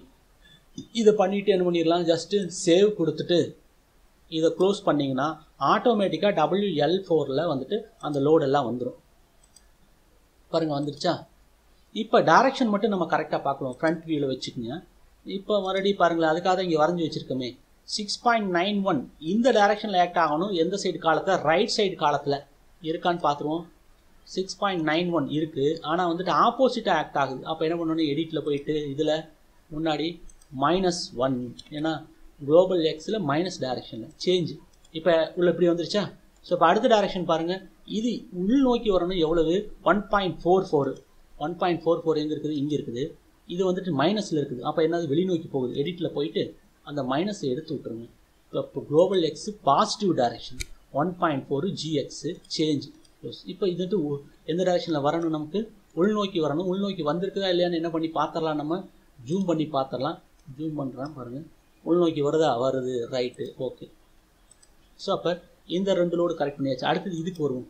இது வந்துட்டு நமக்கு இங்கே ரைட் சைடில் சரி இந்த சைடில் என்ன ஆகணும்? ஒன் பாயிண்ட் ஃபைவ் ஃபைவ் அப்வர்டாக ஆக்ட் ஆகணும். சரி டூ பாயிண்ட் ஃபைவ் ஃபைவ் எப்படி ஆக்ட் ஆகணும்? அப்வர்டா சக்ஷன் மேலே தூக்கிட்டு போகணும். டூ பாயிண்ட் ஃபைவ் ஃபைவ் நமக்கு டூ பாயிண்ட் ஃபைவ் ஃபைவ் எங்கே? மேலே தூக்கிட்டு போகிற மாதிரி ஆக்ட் ஆகுதா? ஜூம் பண்ணி பார்ப்போமா? ஆமாம் கரெக்டாக ஆக்ட் ஆகுது ஒன்றும் பிரச்சனை இல்லை. சரி ரைட்டு ஓகே அடுத்தது இந்த ஜீரோ பாயிண்ட் ஃபைவ் எயிட் எப்படி ஆக்ட் ஆகணும் இந்த இடத்துல? அதையும் நம்ம வந்துட்டு ஜூம் பண்ணி தான் பார்க்கணும் மாட்டேங்குது. ஜூம் பண்ணி பார்த்தோம்னா எங்கே ஆக்ட் ஆகுது? டவுன்வேர்டாக ஆக்ட் ஆகணும். கரெக்டாக டவுன்வேர்டாக ஆக்ட் ஆகுது. Downward zero point five eight கரெக்டாக ஆக்ட் ஆகுது. ஸோ அப்போ டபிள்யூ எல் ஃபோர் முடிஞ்சிருச்சு. ஸோ அப்போ அடுத்தது எதுக்கு போயிடலாம்? டபிள்யூ எல் ஃபைவ்க்கு போயிடலாம். டபிள்யூ எல் ஃபைவ்ல போயிட்டு நம்ம என்ன பண்ணிடலாம்? இது வந்துட்டு ஹோல் வியூ வச்சிடறேன். ஹோல் வியூ வச்சுட்டு ஃப்ரண்ட் வியூ வச்சுட்டு டபிள்யூஎல் ஃபைவ் செலக்ட் பண்ணிவிட்டு என்ன கொடுத்துடலாம்? ஆடு கொடுப்போம். ஆடில் வந்துட்டு ஒரு விண்டோ வரும். அதில் மெம்பர் லோடில் போயிட்டு எவ்வளவு அப்படிங்கிறத பார்த்துருவோம். டபிள்யூஎல் ஃபைவ் லெஃப்ட் சைட் காலத்தில் இது six point three four cut ஆகிடுச்சு சிக்ஸ் பாயிண்ட் த்ரீ ஃபோர் எப்படி ஆக்ட் ஆகணும்? மைனஸ் எக்ஸ் டேரெக்ஷன் ஆக்ட் ஆகணும். விண்டு எந்த டைரக்ஷன்லேருந்து ப்ளோ ஆகுதுன்னு அர்த்தம்? இது இந்த இதுலேருந்து எடுத்துருக்காங்க. சரி இது வந்துட்டு தீட்டா நைன்டி டிகிரி இப்படி வர்ற மாதிரி. அதில் இது விண்டுவேர்டு சைடாக இருக்கிறதுனால தான் என்ன பண்ணிட்டோம்? ரெண்டு ரூஃபுக்கும் ஒரே ஒரு ஃப்ரேம் அப்போ இந்த ஃப்ரேம் வந்துட்டு நம்ம என்ன டோட்டல் ஸ்ட்ரக்சரில் நம்ம பிளான் எவ்வளவு? Twenty metre by forty eight metre twenty metre விட்டு ஃபார்ட்டி எயிட் மீட்டர் லென்த்து ஃப்ரேமுடைய ஸ்பேசிங் எவ்வளோன்னு வச்சு வச்சுருக்குறோம்? சிக்ஸ் மீட்டர் ஓகேவா அப்போ இந்த இதில் தீட்டா நைன்டி டிகிரினா இங்கிருந்து விண்டு வர்றப்ப இந்த ஃப்ரேமில் ரெண்டுமே என்னதான் ஆக்ட் ஆகும்? ஒரே வேல்யூ தான் ஆக்ட் ஆகும். ரெண்டுமே ஒரே வேல்யூ தான் ஆக்ட் ஆகும். இது வந்துட்டு அப்போ இந்த ஃப்ரேம் இப்போ நம்ம டிசைன் பண்ணுற ஃப்ரேமை இங்கேயும் யூஸ் பண்ணலாம் இன்டர்மீடியட்டாகவும் யூஸ் பண்ணலாம். அதுக்காக தான் வந்துட்டு நான் இப்போ வந்துட்டு ஆப்டிமைஸ் பண்ணுறேன்னு சொல்லியிருக்கேன். ஓகேவா சரி அப்போ ஃபஸ்ட்டு சிக்ஸ் பாயிண்ட் த்ரீ ஃபோரை நம்ம அப்ளை பண்ணுவோம். சரி டபுள் எல் சிக்ஸ்க்கு அப்போ என்ன சார் பண்ணுவீங்க? இது விண்டுவேர்டு சைடு இருக்கிறது. இதே உள்ளே இருக்கிற ஃப்ரேமை யூஸ் பண்ணணும்னு சொல்லி சொன்னோம்னா அப்போ அது லீவேர்டு சைடுக்குரிய லோடை எடுத்து கொடுத்துருப்போம். அது எவ்வளவு? ஃபைவ் பாயிண்ட் த்ரீ ஃபைவ் ரெண்டுமே ஒரே வேல்யூ வந்துருக்கும். ஓகேவா இதில் வரும் கரெக்டாக கட் ஆகாமல் வந்துருக்கு சிக்ஸ் பாயிண்ட் த்ரீ ஃபோர் இப்போ six point three four left side காலத்துக்கு அப்ளை பண்ணுவோம். Six point three four six point three four அது வந்துட்டு எப்படி? மைனஸ் டைரெக்ஷனில் போகணும். குளோபல் எக்ஸில் ஆடு க்ளோஸ் செலக்ட் பண்ணிவிட்டு யூஸ் கர்சர் டு வர்சனில் போயிட்டு இந்த காலத்துக்கு லெஃப்ட் சைடு காலத்துக்கு கரெக்டாக அப்ளை பண்ணிட்டோமா? அப்ளை பண்ணியாச்சு. ரைட் சைடு காலத்துக்கு பாசிட்டிவ் எக்ஸ் டைரக்ஷனில் போகணும். ஆடு செலக்ட் பண்ணியாச்சு ஆடு மெம்பர் லோடு மேக்னிடியூட் எவ்வளவு? Five point seven six five point seven six அது global X direction add close அதை செலக்ட் பண்ணிவிட்டு யூஸ் கர்சர் அசைனில் போயிட்டு அதை அசைன் பண்ணுவோம். கரெக்டாக அது அசைன் ஆகிடுச்சா அசைன் ஆகிடுச்சு அடுத்தது செவன் பாயிண்ட் ஃபோர் நைன் ரெண்டு ராப்டருக்கும் ஒரே வேல்யூ தான். ஸோ அப்போ ஆடில் போயிட்டு seven point four nine member லோடில் ஒரு மெம்பர் லோடில் செவன் பாயிண்ட் ஃபோர் நைன் ஓகேவா இது எந்த டைரெக்ஷனில் குளோபல் ஒய் பாசிட்டிவ் அப் ஆடு க்ளோஸ் இதை வந்துட்டு அப்ளை பண்ணணும். யூஸ் கர்சர் டு அசைனில் போயிட்டு அசைனை செலக்ட் பண்ணிவிட்டு இந்த இதுக்கும் சரி இந்த ராப்டர் ரெண்டு ராப்டருக்கும் ஒரே வேல்யூ தான். அதனால் இன்னொரு லோடு க்ரியேட் பண்ண வேண்டியதில்லை. இதையே ரெண்டு ராப்டருக்கு அப்ளை பண்ணியாச்சு. ஓகேவா இதோட டபிள்யூ எல் ஃபைவ் முடிஞ்சிச்சு. இதே மாதிரி எதுக்கு நான் க்ரியேட் பண்ணணும்? டபிள்யூ எல் சிக்ஸ்க்கும் க்ரியேட் பண்ணணும். இதுக்கு என்ன ஈஸி ஆப்ஷன் சொல்லியிருக்கேன் ஸ்டாட் எடிட்டரில் போகிறேன் இது ஒரு தடவை சேவ் பண்ணிவிட்டு இந்த டபிள்யூ எல் ஃபைவ்ல நம்ம க்ரியேட் பண்ண இந்த மூணையும் செலக்ட் பண்ணி டபிள்யூ எல் சிக்ஸில் போட்டுருவோம். சி காப்பி பண்ணி டபிள்யூஎல் சிக்ஸில் போயிட்டு கண்ட்ரோல் வி போட்டுட்டு இதை சேவ் பண்ணால் தான் நம்ம பண்ண சேஞ்ச் வந்துட்டு அங்கே கேரி அவுட் ஆகும். பண்ணிவிட்டு இதை அப்படா தூக்குற லோடு எவ்வளவு? அப்படிங்கிறத பார்த்து அதுக்கு தகுந்த மாதிரி இதை என்ன பண்ணிக்கலாம்? நம்ம ஆல்ட்ரு பண்ணிக்கலாம். இப்போ சேவ் பண்ணதை என்ன பண்ணிடுங்க? சேவ் பண்ணிவிட்டு இதை க்ளோஸ் பண்ணிவிடுங்க சரியா? க்ளோஸ் பண்ணிட்டீங்கன்னா டபுள்யூ எல் சிக்ஸ்லேயும் நமக்கு என்ன வந்துருச்சு? லோடு எல்லாமே வந்துருச்சு. இப்போ கரெக்டாக இருக்கான்னு சொல்லி பார்த்துருவோமே first six point W L சிக்ஸில் அதே six point three four left to right கரெக்டாக இருக்கான்னு சொல்லி பார்த்துருவோம் six point three four left to right correct இந்த சைடில் எவ்வளோ இருக்கணும்? ஃபைவ் பாயிண்ட் செவன் சிக்ஸ் இங்கிருந்து இப்படி போகணும். அதே டைரெக்ஷனில் போகுதா? ஃபைவ் பாயிண்ட் செவன் சிக்ஸ் அதே டைரெக்ஷனில் போகுது. மேலே வந்து மட்டும் என்ன மாறணும்? செவன் பாயிண்ட் ஃபோர் நைன் கிடையாது. எவ்வளோ இருக்கணும்? ஃபைவ் பாயிண்ட் த்ரீ ஃபைவ் ரெண்டு ராப்டருக்குமே ஒரே வேல்யூ தான். Five point three five so அப்போ அதை எடிட்டில் போயிட்டு எவ்வளோன்னு மாற்றிக்கிறீங்க five point three five kiloton per metre change close five point three five so அப்போ எல்லா விண்ட் லோடு கேஸு எல்லா டெட் லோடு கேஸையுமே நான் இப்போ என்ன பண்ணிவிட்டு முடிச்சிட்டேன். ஓகேவா சரி. இதோட முடிஞ்சிச்சுன்னு நினச்சிங்கன்னா இல்லை. நம்ம என்ன பண்ணணும்? இனி next week have to form load combinations இந்த நாலு லோடு காம்பினேஷனையும் வர்ற மாதிரி பண்ணணும். அப்போ விண்ட் லோடுலேயே நமக்கு வந்துட்டு ஆறு கேஸ் இருக்குது சார் இப்போ இதில் ஒரு ஆறு இதில் ஒரு ஆறு இதில் ஒரு ஆறு அறுபது பதினெட்டு ப்ளஸ் ஒன்று பத்தொம்போது லோடு காம்பினேஷன் நமக்கு வரும். ஓகேவா? அதை நம்ம எப்படி க்ரியேட் பண்ணுறதுன்னு சொல்லிட்டு நம்ம இப்போ பார்க்கலாம். ஸோ அப்போ அதுக்கு நீங்கள் என்ன பண்ணுறீங்கன்னா கமெண்ட்ஸில் போகிறீங்க லோடிங்கில் போகிறீங்க அதில் நீங்கள் என்ன க்ரியேட் பண்ணணும்னா first edit auto load rules அப்படின்னு ஒன்று இருக்குது அதில் போனோன்னு இந்த மாதிரி விண்டோ வரும். இதில் போய் செலக்ட் கோடில் போயிட்டு என்ன கோடை செலக்ட் பண்ணிக்கிறீங்க? இந்தியன் கோடை செலக்ட் பண்ணிக்கிறீங்க. ஓகேவா அதுக்கப்புறம் இதில் போயிட்டு நீங்கள் என்ன பண்ணுறீங்க நியூ கேட்டகரின்னு ஒன்று போகிறீங்க அதில் கேட்டகரி நேமுக்கு நம்ம ஏதாவது ஒரு பேர் கொடுக்கணும். இப்போ பிஇபி ஸ்ட்ரக்சர் கொடுக்கறதுனால இது பிஇபினே நான் பேர் கொடுத்துறேன். நம்பர் ஆஃப் ரூல்ஸ் எத்தனை ஹரிசான்டல் லைன் வரணும்? நமக்கு லோடு காம்பினேஷன் படி நாலு. அந்த நாளையும் கொடுத்துட்டு என்ன பண்ணுறீங்க ஓகே கொடுக்குறீங்க. இப்போ நாலு ரோ மட்டும் வந்துருச்சு. இதில் வந்து என்னென்ன லோடு நமக்கு இருக்குது? டெட் லோடு இருக்குது டேக் ஆயிடுச்சு. லைவ் லோடு இருக்குது ரூஃப் லைவ் இல்லை. விண்டு இருக்குது சீஸ்மிக் இல்லை. ஸ்னோ இல்லை. எடுத்து விட்டுருங்க. அப்போ இருக்கிற லோடு மட்டும் வச்சுக்கோங்க. அதுக்குரிய ஃபேக்டர் மட்டும் என்ட்ரி போடணும். ஃபஸ்ட்டு நம்ம ஃபேக்டர் பார்த்தோம்னா என்னது? One point five dead load one point five live load அந்த லோடு கேஸ் போடணும்னா அப்போ டெட் லோடு போயிட்டு என்ன போடுறேன்? ஒன் பாயிண்ட் ஃபைவ் லைவ் லோடில் எவ்வளோ போடுறேன். ஒன் பாயிண்ட் ஃபைவ் ஓகே அடுத்தது லோடு கேஸ் என்னன்னு சொல்லிட்டு நம்ம பார்த்தோம்னா என்னது? One point two dead load one point two live load one point two wind load so அப்போ டெட் லோடில் எவ்வளோ போட்டுறணும் ஒன் பாயிண்ட் டூ லை லோடில் அதுலேயும் அதே ரோக்கு நேர் ஒன் பாயிண்ட் டூ வின் லோடில் அதே அதுக்கு நேர் எவ்வளவு? அதுவும் ஒரு ஒன் பாயிண்ட் டூ முடிஞ்சிச்சு. அடுத்த லோடு காம்பினேஷன் பார்த்தீங்கன்னு வச்சுக்கோங்க. ஒன் பாயிண்ட் ஃபைவ் சின்ன correction one point five dead load plus one point five live load ஓகேவா ஸோ அப்போ நான் வந்துட்டு டெட் லோடுக்கு ஒன் பாயிண்ட் ஃபைவ் வின் லோடுக்கும் ஒன் பாயிண்ட் ஃபைவ் அடுத்த லோடு காம்பினேஷன் பார்த்தீங்கன்னா என்னது? பாயிண்ட் நைன் வரும் point nine into dead load one point five into wind load இந்த ப்ராக்கெட் கிடையாது. த்ரீ ஸோ அப்போ அது கரெக்டாக கொடுப்போம். இப்போ டெட் லோடுக்கு எவ்வளவு? ஜீரோ பாயிண்ட் நைனு வின் லோடுக்கு எவ்வளவு? ஒன் பாயிண்ட் ஃபைவு இப்போ லோடு காம்பினேஷன் தேவையான கொடுத்ததுக்கப்புறம் என்னென்னு கொடுத்துருணும் இதை. அப்டேட் டேபிள் பாருங்கள் இப்போ ஒயிட் கலரில் மாறிடுச்சா? அப்போ தான் நம்ம கரெக்டாக அப்ளை பண்ணிக்கணும்னு அர்த்தம். க்ளோஸ் இப்போ இது முடிஞ்சதுக்கப்புறம் நீங்கள் திரும்பி எங்கே போகிறீங்க கமெண்ட்ஸில் போகிறீங்க இப்போ லோடிங்கில் போகிறீங்க என்ன க்ரியேட் பண்ணுறீங்க லோடு காம்பினேஷன் இந்த விண்டோ சாரி தப்பாக போயிட்டேன். இதில் போயிட்டு என்ன பண்ணுறேன் லோட் கேஸில் போயிட்டு ஆடில் போயிட்டு அதில் லோடு காம்பினேஷன் பதிலாக என்ன பண்ணுவீங்க ஆட்டோ லோடு காம்பினேஷன் அதையே கொண்டு வர சொல்லுவோம். ஆட்டோ லோடு காம்பினேஷன் ஆனால் என்ன கோடு யூஸ் பண்ண சொல்லணும்? இந்தியன் கோடு யூஸ் பண்ண சொல்லணும்? இந்த ஜென்ரல் ஸ்ட்ரக்சர்னு இருக்கிறதுக்கு பதிலாக நம்மளா இப்போ என்ன பண்ணி வச்சோம்? ஆறு லோடு கேஸ் வின் லோடு வருது சார் அதுக்காக நாமளாக வந்துட்டு க்ரியேட் பண்ணி வச்சோம். அது பேர் நின்று வச்சோம்? பிஇபின்னு வச்சோமா? அந்த பிஇபியை செலக்ட் பண்ணிவிட்டு அப்புறம் ஜென்ரேட் லோடுன்னு கொடுங்க. எத்தனை லோடு காம்பினேஷன் வந்துச்சு நம்ம சொன்ன மாதிரி? பத்தொம்போது லோடு காம்பினேஷன் ஜென்ரேட் ஆகிடுச்சு இப்போ இதில் ஆடு கொடுத்தோம்னா ஆல்ரெடி இருக்கிற லோடு காம்பினேஷனுக்கு அடுத்த நம்பரில் இதெல்லாமே அசைன் ஆகிடும் ஆடு இப்போ க்ளோஸ் பென் என்ன ஆயிடுச்சு? டோட்டலாக எத்தனை? இருபத்தேழு லோடு காம்பினேஷன் வந்துருச்சு. அப்போ என்ன அர்த்தம்? எட்டு எதில் வந்துருச்சு? சிங்கிள் லோடு அப்புறம் இது வந்துட்டு காம்பினேஷன்ஸில் பத்தொம்பது சரியா பத்தொம்பது எட்டு இருபத்தேழு வந்துருச்சு. ஸோ அப்போ எல்லா லோடும் வந்துருச்சு சார். லோடெல்லாம் அப்ளை ஆயிடுச்சு. இப்போ வேணால் நம்ம கமெண்ட்ஸில் போயிட்டு analysis perform analysis no print okay analysis run analysis save கொடுத்தோம்னா என்ன ஆகும் அப்படின்னு சொன்னோம்னா ப்ரோக்ராம் ரன் ஆகும்.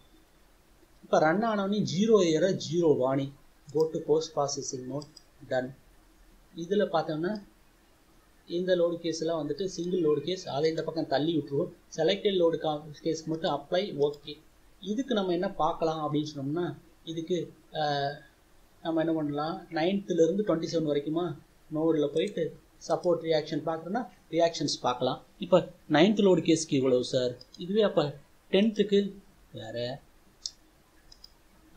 லெவனுக்கு வேறு டுவெல்லுக்கு வேறு இந்த மாதிரி மாறி மாறி வேறு வேறு இதுக்கு ரியாக்ஷன் காட்டுது. அப்போ அதில் நீங்கள் போயிட்டு என்ன பார்க்கணும் அப்படின்னு சொன்னோம்னா ஃபோர்ஸ் இன் ஒய் டைரெக்ஷனில் ப்ளஸில் எவ்வளோ வருது? இவ்வளோ கிலோ நியூட்டன் டவுன்வேர்டாக வருது. அப்போ இது வந்துட்டு மைனஸில் வருது. அப்போ மைனஸில் வருதுன்னா அப்போ மைனஸ் வேல்யூ வருதுன்னா அப்போ என்ன அர்த்தம்? ஃபோர்ஸ் வந்துட்டு டவுன்வர்ட் ஆக்ட் ஆகாமல் அப்வர்டாக வருது. அப்படின்னு அர்த்தம் அப்லிஃப்ட் ஃபோர்ஸ் வருதுன்னு அர்த்தம். அந்த அப்லிஃப்ட் ஃபோர்ஸை வச்சு தான் எதை டிசைன் பண்ணணும்? இந்த பேஸ் பிளேட் டிசைன் பண்ணும்போது அதில் போடுற ஆங்கர் போல்ட்டுடைய டைமென்ஷன்ஸு அது எவ்வளோ டெப்த்துக்கு உள்ளே காங்கிரீட்டுக்குள்ளே போகணுங்கிறதையெல்லாம் நம்ம டிசைன் பண்ணணும். ஸோ அப்போ சப்போர்ட் ரியாக்ஷன் இதில் போய் பார்க்கலாம். இல்லை சார் நான் பெண்டிங் ஓவன் டயக்ராம் தான் பார்க்கணும். அப்போ பீமில் போயிட்டு இப்போ பாருங்கள் டுவெல்த் லோடு கேஸ் இருக்குது. இதே நைன்த் லோடு கேஸுக்கு பார்த்தா இது மாதிரி பெண்டிங் ஓன் டயக்ராம் வருது. இல்லை பெண்டிங் ஓன் டயக்ராம் எம்ஜெட் இங்கே கிளிக் ஆகிருக்குது அதனால். சரியா? இல்லை சார் சியர் ஃபோர்ஸ் டயக்ராம் வேணும் அப்படின்னு இஎஃப்ஒய் பெண்டிங் ஓன்ட்டு எடுத்து விட்ரு சியர் ஃபோர்ஸ் டயக்ராம் மட்டும் தெரியும். ஓகேவா ஸோ அப்போ இதில் போய் பெண்டிங் ஓன் எந்தெந்த லோடு கேஸுக்கு வேணுமோ அதில் நம்ம பார்த்துக்கலாம். ஸோ அப்போ இருபத்தேழாவது லோடு கேஸுக்கு வேணும்னா இருபத்தேழுக்கு கிடைக்கும். இல்லை சார் எனக்கு ப இருபத்தி ரெண்டாவதுக்கு வேணும்னா எந்த லோடு கேஸுக்கு வேணுமோ கிடைக்கும். சரியா? சரி நம்ம வந்துட்டு நம்மளாம் இனிஷியலாக ஒரு டைமென்ஷன்ஸ் கொடுத்தோமே சார் இப்போ இந்த எல்லா லோடு கேஸையும் கன்சிடர் பண்ணி அந்த டைமென்ஷன்ஸ் பாஸ் ஆகிருக்குதா இல்லையா அப்படிங்கிறத ஃபஸ்ட்டு பார்த்துடலாம் நம்ம. அதுக்கப்புறமா இந்த டைமென்ஷன்ஸை ஆல்ட்ரு பண்ணி கொடுத்துருக்கிற செக்ஷனுடைய டைமென்ஷனை ஆல்ட்ரு பண்ணி நம்ம என்ன பண்ணலாம்? டிசைனை வந்துட்டு ஆப்டிமைஸ் பண்ணலாம். கம்மியான வெயிட் வர மாதிரி பண்ணலாம் அப்படின்னு சொல்லி பிளான் பண்ணுறேன் அதனால் நான் மறுபடியும் மாடலிங்க்கு போகிறேன் இந்த தடவை என்ன பண்ணுறேன் அப்படின்னு சொன்னால் கமெண்ட்ஸில் போயிட்டு சரியா? டிசைனில் போயிட்டு எங்கே போகிறேன் ஸ்டீல் டிசைன் இப்போ ஸ்டீல் டிசைன் வந்த உடனே இது ஓப்பன் ஆயிடுச்சு இந்த விண்டோ இதில் கரண்ட் கோடில் போயிட்டு என்ன கோடு நீங்கள் கொடுக்கணும் அப்படின்னு சொன்னால் IS eight hundred two thousand செவனில் லிமிட் ஸ்டேட் டிசைன் இருக்கு பாருங்கள் அதை கிளிக் பண்ணணும். ஓகேவா அதுக்கப்புறம் செலக்ட் பேராமீட்டரில் போகணும். செலக்ட் பேராமீட்டரில் நூறு பேராமீட்டர்ஸ் கொடுத்துருப்பாங்க. அத்தனையும் நமக்கு தேவையில்லை. இம்பார்ட்டண்ட்டான பேராமீட்டர் மட்டும் நம்ம அசைன் பண்ணால் போதும். அதனால் இது எல்லாமே இங்கே தள்ளி விட்டு எது எது நம்ம மெயினாக கொடுக்க வேண்டியது இருக்குமோ அதை பாருங்கள் நான் சொல்கிறேன் ரொம்ப இம்பார்ட்டண்ட்டானது இதுதான். Ultimate tensile strength of the steel அதை தள்ளிக்குவோம் வேணும். Yield strength of the steel வேணும். அதுக்கப்புறம் effective length factor for lateral torsional buckling KX சரி எஃபெக்டிவ் லென்த்தாகவே நம்ம கொடுத்துடலாம். எதுக்கு factor length LX LX LY LZ இந்த மூணு மட்டும் கொடுத்தா போதும். கொடுத்துட்டு இப்போ நான் என்ன பண்ணிடுறேன்? ஓகே கொடுத்துட்டேன். ஸோ அப்போ இதை மட்டும் இப்போ அசைன் பண்ணணும். இப்போ டிஃபைன் பேராமீட்டரில் போகிறேன் first FU ultimate tensile strength ultimate tensile strength வந்துட்டு நம்ம என்ன கிரேட் ஆஃப் ஸ்டீல் யூஸ் பண்ணுறோங்கிறத பொறுத்துது. E two fifty grade steel அப்படின்னு சொன்னோம்னா நமக்கு எவ்வளோ வரும்? ஃபோர் டென் வரும் ultimate tensile strength E three fifty grade ஸ்டீல்னா ultimate tensile strength எவ்வளோ வரும் அப்படின்னு சொன்னால் ஃபோர் நைன்ட்டி வரும்.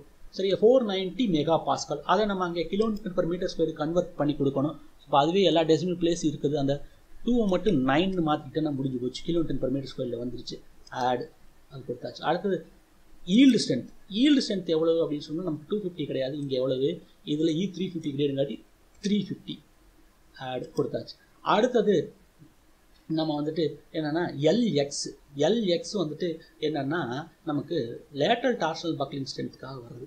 ஸோ அப்போ எந்த லேட்டல் கம்ப்ரஷன் பிளான்ஸை நம்ம ச இது பண்ணி பக்கில் ஆகாமல் லேட்டர் டார்சல் பக்லிங் வராமல் தடுத்திருந்தா தான் இது. ஆக்சுவலாக நம்ம இதில் எங்கேயுமே அதை பண்ணுறதில்ல அதனால் ஆக்சுவல் லென்த் என்னவோ ராப்டருக்கு அதை அப்படியே கொடுத்துடணும். எஃபெக்டிவ் லென்த்தாக அதே மாதிரியே தான் எதுக்கும் கொடுத்துடணும்னு சொன்னால் அன்சப்போர்ட்டட் லென்த்து காலத்துக்கும் அப்படியே கொடுத்துடணும். ஸோ அப்போ எல் எக்ஸ் நான் செலக்ட் பண்ணிவிட்டேன் காலத்துடைய லென்த் வேணும்னு சொல்லி நான் தெரிஞ்சுக்கணும்னு வச்சுக்கோங்க. இதை க்ளோஸ் பண்ணுறேன் ஒரு தடவை லென்த் நான் மார்க் பண்ணிவிட்டு அப்புறமா இதை வந்து அசைன் பண்ணுறேன் க்ளோஸ் பண்ணிவிட்டு திருப்பி என்ன பண்ணுறேன் display node to node distance காலத்தோட ஹைட் எவ்வளவு? ஃபைவ் மீட்டர் ராப்டருடைய இது எவ்வளவு? Ten point zero five metre இப்போ வந்துட்டு டிஃபைன் பேராமீட்டரில் போயிட்டு மீதி இருக்கிறது எல்எக்ஸ் என்னது? எஃபெக்டிவ் லென்த்து வந்துட்டு காலத்துக்கு அசைன் பண்ணுறப்ப எவ்வளோ கொடுத்துடலாம் ஃபைவ் மீட்டர் ஆடு ராப்டருக்கு எவ்வளோ கொடுத்துடலாம் ten point zero five add எல்எக்ஸை முடிச்சிட்டேன். அடுத்தது எல்ஒய் ஓகேவா இப்போ அடுத்தது எல்ஒய்யை செலக்ட் பண்ணிட்டேன். இப்போ எல்ஒய் இன்னொன்று இந்த ராப்டர் மேலே நம்ம என்ன கொடுப்போம்? பர்லின்ஸ் கொடுப்போம். அந்த பர்லின் வந்துட்டு இதனுடைய எஃபெக்டிவ் லென்த்தின் ஒய் டைரக்ஷனை கட் பண்ணும். அப்போ எத்தனை பர்லின் கொடுக்குறோம் அப்படிங்கிறதுக்கு தகுந்த மாதிரி அது மாறும். அதே மாதிரி காலத்துக்கும் நம்ம இடையில் பண்ணுவோம். சைடு பர்லின் ஆர் கர்ட்ஸ் கொடுப்போம். அப்போ தான் நம்ம என்ன பண்ணுவோம்? இந்த கிளேடிங் யூனிட்டை அதோட ஜாயின் பண்ண முடியும். ஸோ அந்த கிளேடிங் யூனிட் வெயிட்டு ஆல்ரெடி நம்ம காலத்தில் வேறு எடுத்து வேறு வச்சுருக்கிறோம். ஸோ அப்போ எத்தனையாக பிரிக்கிறோம் அப்படிங்கிறத இப்போ நான் கால்குலேட்டரில் வச்சு பார்க்குறேன்னு இப்போ டென் பாயிண்ட் ஜீரோ ஃபைவ்னு இருக்குது. டென் பாயிண்ட் ஜீரோ ஃபைவ் இது டிவைடட் பை ஒரு ஏழு போட்டுட்டுமா? ஏழு சரி ஆறு போடுவோமே எவ்வளோ வருதுன்னு பார்ப்போம். ஆறு ஈக்குவல் டு போட்டால் one point six seven five so purlin spacing ஒன்றரை மீட்டருக்குள்ளே இருந்தால் தான் பெட்டர் அப்போ நான் திருப்பி என்ன பண்ணுறேன் இது பண்ணுறேன் இது பண்ணிவிட்டு எவ்வளோ ten point zero five divided by எவ்வளவு? ஏழு போடுறேன். ஏழு ஈக்குவல் டு எவ்வளவு? One point four three five one point four four வச்சுக்கலாமா? அப்போ one point four four metre பார்லினோட spacing எதுக்கு? ராஃப்டருக்கு ஓகேவா ஸோ அப்போ ராஃப்டருக்கு நான் இங்கே எவ்வளோன்னு கொடுத்துட்றேன் ஒன் பாயிண்ட் ஃபோர் ஃபோர் இதை ஆடு கொடுத்துருவோம். இதே இன்னொரு தடவை நம்ம கொடுக்க செய்யணும். எதுக்கு பண்ணும்போது? காலத்துக்கு. அப்போ காலத்துக்கு எவ்வளோ அப்படிங்கிறதுக்கு நீ பார்க்குறதுக்கு என்ன பண்ணி ஆகணும்? மறுபடியும் அஞ்சு மீட்டர் தானே அதனுடைய ஹைட்டு அப்போ ஃபைவ் டிவைடட் பை அந்த அதுக்கு வந்துட்டு இப்போ ஒரு மூணு கொடுக்குறேன்னு வச்சுக்குவோம். எவ்வளோ வருது? ஒன் பாயிண்ட் சிக்ஸ் செவன் அதை விட ஜாஸ்தியாக போயிருக்கு சார் அப்போ five divide by four கொடுத்துக்கலாமா? Five divide by four one point two five கொடுத்துக்கலாம். ஓகேவா ஸோ அப்போ அடுத்து இன்னொரு தடவை கொடுத்துறேன். என்னது? ஒன் பாயிண்ட் டூ ஃபைவ் இது சைடு பர்லின் ஆர் கட்ஸோடைய ஸ்பேசிங் அதையும் ஒரு தடவை ஆடு கொடுத்துட்டேன். ஆ? சரி அடுத்தது எல் ஜெட் எல் ஜெட் வந்துட்டு எந்த இதுலேயும் நம்ம வந்துட்டு பர்லின் கொடுப்போம். அதுக்கப்புறம் என்ன பண்ணுவோம்? ஃப்ளாஞ்ச் பிரேசிங்ஸ் கொடுப்போம். அதனால் வந்துட்டு எஃபெக்டிவ் லென்த்தின் ஒய் டைரக்ஷன் தான் நமக்கு என்ன ஆகும் கட் ஆகும். இஜட் டைரக்ஷன் தான் இப்படி தான் பெண்ட் ஆகும். அப்போ இதுவும் காலம் இப்படியே தான் பெண்ட் ஆகும். அதில் வந்துட்டு எதுவுமே பண்ண முடியாது. ஸோ அது வந்துட்டு ஃபுல் லென்த் அப்படியே கொடுத்துடலாம். எல் எக்ஸ் கொடுத்தோமோ அதே தான். டென் பாயிண்ட் ஜீரோ ஃபைவ் இது ராஃப்டருக்கு ஒரு தடவை ஆட் பண்ணியாச்சு. காலத்துக்கு ஃபைவ் மீட்டர் போட்டுட்டு அதே ஒரு தடவை ஆடு க்ளோஸ் இப்போ நான் ஆடு கொடுத்ததெல்லாம் எங்கே வந்திருக்குன்னு நினைக்கிறீங்க? இங்கே பாருங்கள் ஈல் ஸ்ட்ரென்த் சொன்னோமா? ஃபோர் நைன்ட்டி கிலோ டெம்பர் மீட்டர் ஸ்கொயருங்காட்டி மூணு டெசிமல் தள்ளி வச்சுருக்காங்க. செலக்ட் பண்ணிவிட்டு அசைன் டு வியூ எல்லாருக்குமே அதே தான் அல்டிமேட் டென்சைல் ஸ்ட்ரென்த் எதுக்கு? ராப்டரு காலம் டிசைன் எல்லாத்துக்கும் அசைன் அசைன் டு வியூவில் எஸ் எல்லாத்துக்கும் அசைன் ஆயிடுச்சு. ஓகேவா அடுத்தது எதை செலக்ட் பண்ணுறேன் ஈல்டு ஸ்ட்ரென்த் அது எல்லாம் ஒன்றே தான் assign to view assign yes அடுத்தது எல்எக்ஸு ஃபைவ் எதுக்கு? காலத்துக்கு தான் கொடுக்கணும். அப்போ இதை என்ன பண்ணணும்? அசைன் டு வியூ கொடுக்கூடாது என்ன பண்ணணும் நான்? அசைன் டு செலக்டட் வியூ வச்சுட்டு காலத்தை மட்டும் செலக்ட் பண்ணணும். ஃபர்ஸ்ட் இந்த காலம் அடுத்து கண்ட்ரோல் கீ ப்ரெஸ் பண்ணி இந்த காலம் எதுக்கு? எல்எக்ஸுக்கு assign to selected beams assign as so அப்போ ஒன் க்ரீன் ஆயிட்ஸ் அப்ளை பண்ண உடனே. அடுத்தது டென் பாயிண்ட் ஜீரோ ஃபைவ் எதுக்கு? ராப்டருக்கு மட்டும் எல்எக்ஸுக்கு அப்போ நான் ஃபஸ்ட்டு ராப்டர் ரெண்டே செலக்ட் பண்ணேன். இந்த ராப்டரு கண்ட்ரோல் கீ ப்ரெஸ் பண்ணி இந்த ராப்டரு அப்புறம் LX ten point zero five assign to selected beams assign as ஓகேவா இங்கே அப்படியே ஆகலையா? எல்எக்ஸ் ஹைலைட் பண்ணாமல் இருக்கணும்னா assign to selected beams select பண்ணிவிட்டு இதையும் செலக்ட் பண்ணிவிட்டு control key LX assign to selected beams assign as நான் க்ரீன் ஆகணும்ல. ஓகே இப்போ அடுத்தது LY one point four four எதுக்கு? பார்லிங் ஸ்பேசிங் ராஃப்டருக்கு என்னவோ அதுதான் வந்துட்டு ஒய் டைரக்ஷனுடைய எஃபெக்டிவ் லென்த்தை கட் பண்ணும் எவ்வளவு unsupported length one point four four அப்போ இது பார்லின் மட்டும் செலக்ட் பண்ணி கொடுக்கணும்.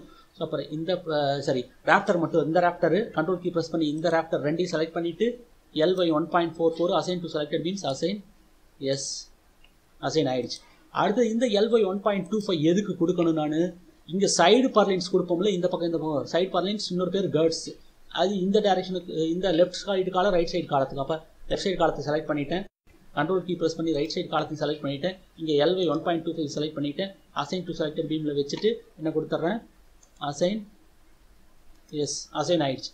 அடுத்தது effective length in sorry unsupported length in L Z L ஜெட்டுனா ரெண்டு ராப்டரையும் செலக்ட் பண்ணணும். இப்போ ஃபஸ்ட் இந்த ராப்டர் அடுத்து கண்ட்ரோல் கீ ப்ரெஸ் பண்ணி இந்த ராப்டர் செலக்ட் பண்ணிவிட்டு LZ assign to select beams assign as assign ஆயிடுச்சு. அடுத்தது காலத்துக்கு கொடுக்கணும். சேவ் பண்ணிக்கலாம் காலத்துக்கு கொடுக்கணும். காலத்துக்கு செலக்ட் பண்ணிட்டேன். இந்த column left side column control key press பண்ணி இதையும் செலக்ட் பண்ணிட்டேன். இப்போ இன்னொரு தடவை செலக்ட் பண்ணிக்கிறேன் assign to select beams assign as எல்லாமே அசைன் ஆகி முடிச்சிருச்சு. அடுத்தது கமெண்ட்ஸில் போகிறீங்க செக் கோடு இப்போ நான் கொடுத்துருக்கிற டைமென்ஷன்லாம் ஆஸ் பர் கோடு வந்துட்டு அடிக்குவேட்டாக இருக்கிறா வர்ற ஃபோர்ஸை ரெசிஸ்ட் தான் ஆடு அடுத்தது டேக் ஆஃப் எவ்வளோ வெயிட்டு அது வரும்? ஆடு க்ளோஸ் இப்போ இந்த ரெண்டுக்கு நான் என்ன பண்ணுறேன் அதுக்கு கொஷின் மார்க் வந்துருச்சு. எதுக்கு செக் கோட் பண்ணணும்? எல்லா மெம்பருக்கு தான். அப்போ அதை செலக்ட் பண்ணிவிட்டு assign to view assign as அடுத்தது ஸ்டீல் டேக் ஆஃப் வச்சுட்டு அதையும் என்ன பண்ணிடணும்? Assign to view assign as இப்போ எல்லாமே கொடுத்து முடிச்சாச்சு. இந்த டைமென்ஷன்ஸ் கொடுத்துருக்கிறது எல்லாமே நான் என்ன பண்ணிட்டுறேன்? ரிமூவ் டைமென்ஷன்ஸ் ரிமூவ் பண்ணிவிட்டு மறுபடியும் அனாலிசிஸில் போய்ட்டு ரன் அனாலிசிஸ் கொடுக்குறேன். இப்போ என்ன ஆயிரும்? அனாலிசிஸ் பண்ணி டிசைனும் அது பண்ணும். பண்ணதுக்கு அப்புறமா நம்ம செக் பண்ணி பார்க்கலாம். நம்ம கொடுத்த டைமென்ஷன்ஸ் எல்லாம் அடிக்குவேட்டா இல்லையான்னு ஜீரோ ஏரோ ஜீரோ வாணி போட்டு போஸ்ட் பாசிங் டன் ஓகேவா இப்போ வந்துட்டு பாருங்கள் இப்போ நான் என்ன பண்ண போகிறேன் அப்படின்னு சொன்னோம்னா ஜஸ்ட் கோ டு த ஸ்கேலுங்கிறதுல போங்க. அதில் design results so diagram based on the actual ratio apply okay என்ன ஆயிடுச்சு பாருங்கள் ஜீரோ பாயிண்ட் யூட்டிலிட்டி ரேஷியோ கொடுத்துருச்சு. Point five eight four five eight four point three one why நான் கொடுத்துருக்கிற டைமென்ஷன்ஸ் எல்லாம் தேவையை விட ரொம்பவே அதிகமாக இருக்குது. அன்எக்கனாமிக்கலாக இருக்குது. பாருங்கள் இருக்கிற லோடு காம்பினேஷன்ஸ் எல்லாமே கன்சிடர் பண்ணிடுச்சு பத்தொம்பது லோடு காம்பினேஷனையும் கன்சிடர் பண்ணிடுச்சு அது கொடுத்துருக்கிற டைமென்ஷன்ஸ் வந்துட்டு இந்த லோடு எல்லாமே தாங்குமான்னு செக் பண்ணி பார்த்துச்சு. பார்த்தா ரேஷியோ வந்துச்சு point five eight four sir point nine nine வரைக்கும் கொண்டு வரலாம் சார் பாயிண்ட் நைனுக்கு மேலே இருந்தால் தான் சார் எக்கனாமிக்கலாக இருக்குது அப்போ நம்ம இப்போ கொடுத்துருக்கிற இந்த டைமென்ஷனுக்கு எவ்வளோ வெயிட் வரும்னு சொல்லி பார்க்கலாமா? பாருங்கள் சேடு அவுட்புட்டில் போயிட்டு பார்த்தீங்கன்னு சொன்னோம்னா இந்த பக்கம் ஸ்டீல் டேக் ஆப்னு இருக்குதா? அந்த ஸ்டீல் டேக் ஆப்பை அழுத்துனீங்கன்னு சொன்னோம்னா எவ்வளோ வெயிட் இதில் வருதுன்னு சரி எவ்வளோ தெரியும் வெயிட் வருது? இப்போ நம்ம கொடுத்துருக்கிற டைமென்ஷனுக்கு forty two point one two kilo newton four point two tons வருது. ஒரு ஃப்ரேமோட வெயிட்டு இப்போ நம்ம இதை குறைக்கணும்னா இப்போ யூட்டிலிட்டி ரேஷியோவும் என்ன இருக்குது? ரொம்ப ஸ்ட்ரென்த் ஜாஸ்தியாக இருக்குது நம்ம கொடுத்த செக்ஷன்ஸ் தேவையை விட அதிகமாக இருக்குது. ரேஷியோ வந்து பாயிண்ட் நைனுக்கு மேலே இருக்க மாதிரி கொண்டு வந்தோம்னா தான் எக்கனாமிக்கலாக இருக்கும். அப்போ சைஸஸ் என்ன பண்ணணும்? நம்ம குறைக்கணும். சைஸஸை குறைக்கணும் அப்படின்னு சொன்ன உடனே குறைக்கிறதுக்கு நம்ம என்ன பண்ணலாம் அப்படின்னு சொன்னோம்னா நம்ம பெண்டிங் ஒன் டயக்ராம் ஷேப்பை பார்த்தோம்னா ஒரு ஐடியா கிடைக்கும். Dead load live லோனுடைய combination one point five first வருதா? அதை செலக்ட் பண்ணிவிட்டு அதுக்கப்புறமா நீங்கள் என்ன பண்ணுங்க இந்த பெண்டிங் ஒன் டயக்ராம் போங்க. இப்போ பெண்டிங் ஒன் டயக்ராம் போன உடனே இந்த இடத்துல என்ன ஆயிடுச்சு? பெண்டிங் ஒன் இங்கே ஜாஸ்தியாக இருக்குது. இங்கே ஜீரோ ஆகுது இங்கே ஜாஸ்தியாக இருக்குது. அதே மாதிரி இங்கே கம்மியாக இருக்குது இங்கே ஜீரோ ஆகுது இங்கே ஜாஸ்தியாக இருக்குது. ஸோ அப்போ பெண்டிங் ஒன் டயக்ராம் என்ன இருக்குது இதில்? பெண்டிங் ஒன் வேல்யூ கீழேருந்து மேலே வேரி ஆகுது இதுவும் வேரி ஆகுது. அப்போ பெண்டிங் ஒன் ஜீரோ ஆகிற இடத்துல நம்ம கம்மியான செக்ஷன்ஸ் வச்சுக்கலாம் சைஸு அதிகமாக இருக்கிற இடத்துல அதிகமான சைஸ் வச்சுக்கலாம். இங்கே வந்துட்டு கீழே ஓரளவுக்கு இருக்கிறதுனால இதில் லென்த்து கம்மி ஹைட் அஞ்சு மீட்டர் தானே. அதனால் இதில் வந்துட்டு என்ன பண்ணிக்கலாம்? வேரி ஆகிற மாதிரி கொடுத்துடலாம். கீழே கம்மியான டெப்த்து மேலே பெனி ஒன் அதிகமாக இருக்கிறது அதிகமாக இருக்கிறது இங்கே அதிகமாக இருக்கட்டும் இங்கே கம்மியாக இருக்கட்டும். இங்கே கம்மியாக இருக்கட்டும் இங்கே அதிகமாக இருக்கட்டும். ஸோ அப்போ பெனி ஒன் டயக்ராம் ஷேப்புக்கு தகுந்த மாதிரி நம்ம டேப்பர்டு டைமென்ஷன்ஸ் கொடுத்ததை நான் இப்போ என்ன பண்ண போகிறேன்னா ஆல்ட்ரு பண்ண போகிறேன் ஓகேவா ஸோ அப்போ ஆல்ட்ரு பண்ண போகிறேன்னா இப்போ போஸ்ட் ப்ராசஸிங் மோட்லேருந்து நான் எந்த மோடுக்கு போயிடணும்? மாடலிங் மோடுக்கு போயிடணும். கேட்போம் இப்போ மாடலிங் பார்ட் வந்தவுடனே நீங்கள் வந்துட்டு ஜாமெட்ரி போங்க. ஆ, சரியா? ஜாமெட்ரி போயிட்டு அதனோட டைமென்ஷன்ஸ் பார்த்தீங்கன்னா ஒரே ஒரு டேப்பர் செக்ஷன் தான் இங்கே இருக்குது பாருங்க ஆர் ஒன்னுங்கிற அந்த டைமென்ஷன்ஸ் தான் ரேப்டரு காலத்துக்கு எல்லாமே அசைன் பண்ணியிருக்கோம் சரியா? இப்போ நீங்கள் அதுக்கு முன்னாடி இந்த பெண்டிங் ஒன் டயக்ராம் எங்கே ஜீரோ ஆச்சுன்னு பார்த்துக்கலாமா? நைன்த் லோடு காம்பினேஷனில் போயிட்டு போஸ்ட் ப்ராசஸிங் மோடில் போய் என்ன இதுக்கு போயிடலாம் பெண்டிங் ஒன் டயக்ராம் இங்கே இதாச்சு இல்லை. பீம் கர்சரில் போய் இதை டபுள் கிளிக் அடிங்க. எந்த இடத்துல வந்துட்டு பெண்டிங் ஒன் வந்துட்டு ஜீரோ ஆகுதுன்னு சொல்லி பார்ப்போம். எங்கே த்ரீ பாயிண்ட் சிக்ஸ் டூ மீட்டரில் பெண்டிங் ஒன் ஜீரோ ஆகுது. அப்போ அந்த இடத்துல நான் என்ன பண்ணுறேன் இந்த ராப்டர்லேயும் ஏன்னா ராப்டர் தான் லென்த்து ஜாஸ்தி. அதனால் த்ரீ பாயிண்ட் சிக்ஸ் டூவில் ஒரு நோடை இன்செர்ட் பண்ணுறேன் ஓகேவா அப்போ ரிசல்ட்ஸ் எல்லாம் போயிடும் போய் பார்த்து வச்சுக்கணும். Three point six two distance எவ்வளவு? Three point six two add new point okay ரிசல்ட்டெல்லாம் போயிருந்தது. எஸ் ஓகே இப்போ பாருங்கள் த்ரீ பாயிண்ட் சிக்ஸ் டூ வந்துருச்சா? ஸோ அப்போ இதில் அதே மாதிரியே பண்ணணுமா இல்லையா? அப்போ இங்கேருந்து த்ரீ பாயிண்ட் சிக்ஸ் டூவா எகைன் இன்சர்ட் நோட்டில் போகிறேன் இதை செலக்ட் பண்ணுறேன் எவ்வளோ distance three point six two add new point okay இப்போ வந்துட்டு மறுபடி பீம் கர்சரில் போய் இதை தொடுங்க பிரிஞ்சு போயிடுச்சா? இப்போ திரும்பி மாடலிங்கில் போயிட்டு ஜாமெட்ரி போங்க. ஜாமெட்ரியில் பாருங்கள் எத்தனை டேப்பர் வந்துருச்சு? அஞ்சு டேப்பர் வந்துருச்சு. இப்போ ஃபஸ்ட்டு டேப்பர் எதுக்கு? ரெண்டு காலத்துக்கு. அடுத்தது இந்த மெம்பர் அடுத்து இந்த மெம்பர் இந்த மெம்பர் இந்த மெம்பர் அஞ்சு நம்பரும் வந்துருச்சு. இப்போ வந்துட்டு நான் என்ன பண்ண போகிறேன்னா காலத்துக்கு பாட்டமில் இந்த இடத்துல இது மேலே வச்சாலே தெரியுது என்னது? Green colour indicate start point இப்போ ஸ்டார்ட் பாயிண்ட்டில் டெப்த்தை குறைச்சிக்கிறேன். எண்டு பாயிண்டில் அதிகமாக வச்சுக்குவோம். ஸோ அப்போ அது என்ன பண்ணுறேன்னா ஆர் ஒன்னில் தானே இருக்குது இந்த ரெண்டு காலத்துக்கும். இப்போ ஆர் ஒன்னை செலக்ட் பண்ணுறேன் எடிட்டில் போகிறேன் ஸோ அப்போ ஸ்டார்டிங் பாயிண்டில் டெப்த் எவ்வளவு? பாயிண்ட் செவன் ஃபைவ் இருக்குது. இல்லை அங்கே குறைச்சிக்கலாம் சார் நம்ம எவ்வளோ வச்சுக்கலாம்? பாயிண்ட் த்ரீ வச்சுக்கலாம். ம்? ஓகேவா ஃப்ளாஞ்ச் வித்து வந்துட்டு பாயிண்ட் த்ரீ வேண்டாம். அது வந்துட்டு ஒரு பாயிண்ட் டூ ஃபைவ் வச்சுக்கலாம். திக்னஸ் அதே டுவெல் எம்எம் சிக்ஸ்டீன் எம்எம் இங்கே முடிகிற இடத்துல பாயிண்ட் செவன் ஃபைவ் இருக்குது. ஸோ அப்போ அதையும் வந்துட்டு நான் கொஞ்சம் குறைக்கிறேன். எவ்வளோன்னு வைக்கிறேன்? பாயிண்ட் சிக்ஸ்னு வச்சுக்கிறேன். ஸோ அப்போ இதை அப்போ ரெண்டு டெப்த் எவ்வளோ வச்சுட்டேன்? இங்கே பாயிண்ட் சிக்ஸ் இங்கே பாயிண்ட் த்ரீ ஓகேவா பிரத் ஆஃப் த ஃப்ளாஞ்ச் வந்துட்டு த்ரீ ஹண்ட்ரட் இருந்ததை டூ ஃபிஃப்டியே மாற்றிக்கிட்டேன் ஏன்னா முன்னாடி செவன் ஃபிஃப்டி டெப்த் இருந்ததுனால அது அதிகமாக வச்சுருந்தேன். இப்போ இதை கொஞ்சம் குறைச்சிக்கிட்டேன். இதை சேஞ்சு கொடுத்துட்டேன். க்ளோஸ் இப்போ நான் கொடுத்ததெல்லாம் கரெக்டாக அசைன் ஆயிருக்கான்னு பார்க்கலாமா? ஃப்ரண்டட் வியூவில் போய் பாருங்கள் இப்போ பாருங்கள் தெரியுதா தெளிவா? காலம் என்ன ஆகி போச்சு கீழே த்ரீ ஹண்ட்ரட் எம்எம் விட்டு மேலே. சிக்ஸ் ஹண்ட்ரட் எம்எம் விட்டு ஓகேவா டெப்த்து சாரி டெப்த்து அதுக்கப்புறம் பர்த் ஆஃப் டூ ஃபிஃப்டி வச்சுருக்கிறோம். திக்னஸ் அதே தான் டுவெல் சிக்ஸ்டின் வச்சுட்டோம் திக்னஸை மாற்றலை ஸோ அப்போ அதே மாதிரி இது என்ன பண்ணணும் நான் இந்த இடத்துல அதிகமான டெப்த்து இங்கே பாயிண்ட் ஆஃப் கான்ட்ராக்ட் வருது இங்கே குறைக்கலாம். அப்புறம் இங்கே குறைச்சி இங்கே அதிகப்படுத்தணும். அதே மாதிரி இந்த ராப்டருக்கும் பண்ணணும். சரியா? அது ஒவ்வொன்றா இந்த நாலு இருக்கிறதுலையும் நான் பண்ண போகிறேன் பண்ணிவிட்டு அப்புறம் ரன் பண்ண பார்த்தோன்னா நான் கொடுத்த டைமென்ஷன்ஸ் ஓகேவா பாஸ் ஆகுதா? யூட்டிலிட்டி ரேஷியோ என்னங்கிறத பார்த்துட்டு நம்ம அடுத்து என்ன பண்ணலாம் டிசைட் பண்ணலாம். சரியா? இப்போ இதை க்ளோஸ் பண்ணிடுறேன். செகண்ட் பேப்பர்னா எதை குறிக்குது? இதை குறிக்குதா? சரி ஓகே அப்போ இதில் இதை மேலே வைக்கிறேன்னா என்ன குறிக்குது? Green colour starting point starting பாயிண்டில் கம்மியான டெப்த் வேணும். கரெக்டாக ஸோ அப்போ டேப்பர் டூ போயிட்டு எடிட் கொடுத்துட்டு start எங்கிறது depth of the section at end node start node இங்கே ஸ்டார்ட் ஆகிற இடத்துல எவ்வளோ வச்சிடலாம் நம்ம பாயிண்ட் த்ரீ அதே மாதிரி காலத்துக்கு கொடுத்த மாதிரியே கொடுக்குறேன்.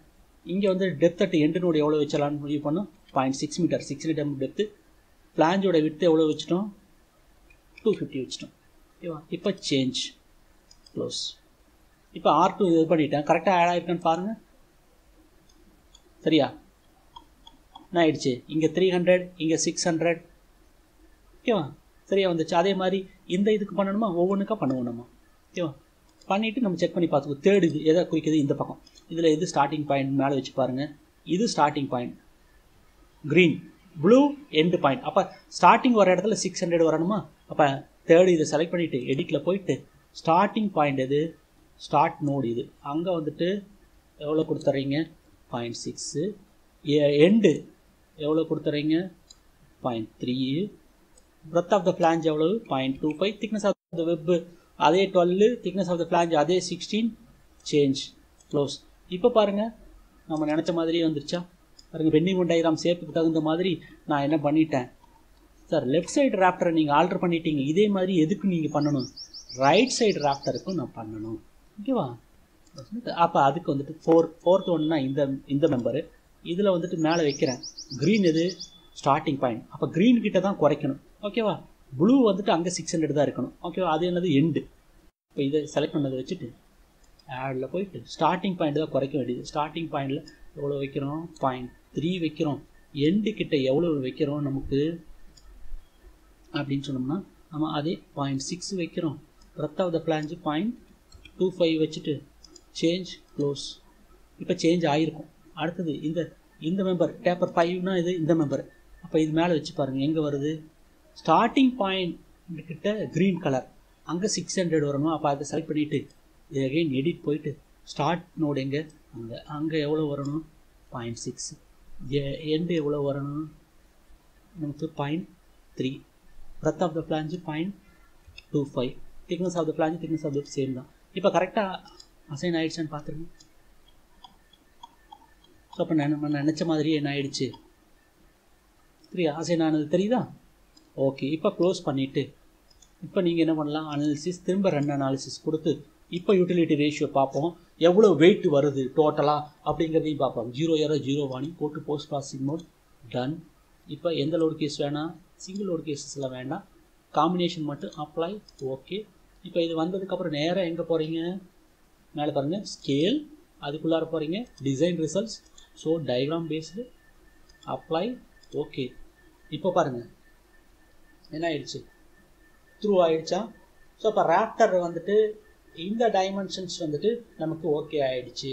ராப்டருக்கு வந்துட்டு இது பாயிண்ட் நைன் சிக்ஸ் ஒன் இது பாயிண்ட் ஃபைவ் ஃபைவ் ஸோ அப்போ இங்கே நல்லா ஸ்ட்ரென்த் யூட்டிலைஸ் ஆகுது. இங்கே வந்துட்டு இங்கே கூட வேணாம் இங்கே மட்டும் தனியாக வேணாம் இன்னும் கூட என்ன பண்ணலாம் நம்ம? குறைக்கலாம். காலம் வந்துட்டு இதில் பாருங்கள் point nine five four five இருக்குது. இந்த இங்கே இடத்துல என்ன இருக்குது? பாயிண்ட் ஃபோர் ஒன்று தான் இருக்குது. காலத்தை இதுக்கு மேலே நம்ம இது பண்ணோம்னா இந்த காலம் பாஸ் ஆகாமல் போயிடும். ஏன்னா வேறு லோடு காம்பினேஷனுக்கு வந்துட்டு என்ன ஆகலாம்? அது மறுபடியும் மாறலாம். ஸோ அப்போ காலம் வந்துட்டு பாஸ் ஆயிடுச்சு. ராப்டரும் இப்போ என்ன ஆயிடுச்சு? பாஸ் ஆயிடுச்சு. இப்போ இதுக்கு வந்துட்டு எவ்வளோ வெயிட் வருது அப்படிங்கிறத பார்க்கணும்னா ஸ்டார்ட் அவுட்புட்டில் போங்க.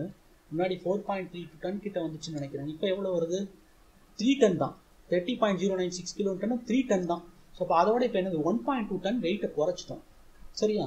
ஸோ இப்போ இந்த மாதிரி ட்ரையல் அண்ட் எரர் மெத்தடில் கொஞ்சம் கொஞ்சம் டைமென்ஷன்ஸை குறைச்சிட்டு திரும்பி ரன் பண்ணி பார்த்துட்டு நமக்கு வந்துட்டு எவ்வளோ வெயிட்டை குறைக்க முடியும்னு சொல்லிட்டு நீங்கள் பார்க்கணும். ஓகேவா ஸோ இதுதான் வந்துட்டு ஆப்டிமைஸ் பண்ணுற மெத்தடு இன்னும் ட்ரையல்ஸ் கொஞ்சம் பண்ணீங்கன்னு சொன்னோம்னா நம்ம என்ன பண்ணலாம்? மற்ற மெம்பர்ஸையும் நம்ம என்ன பண்ணலாம்? சேஃபாக நம்மளால் இன்னும் கொண்டு வர முடியும்.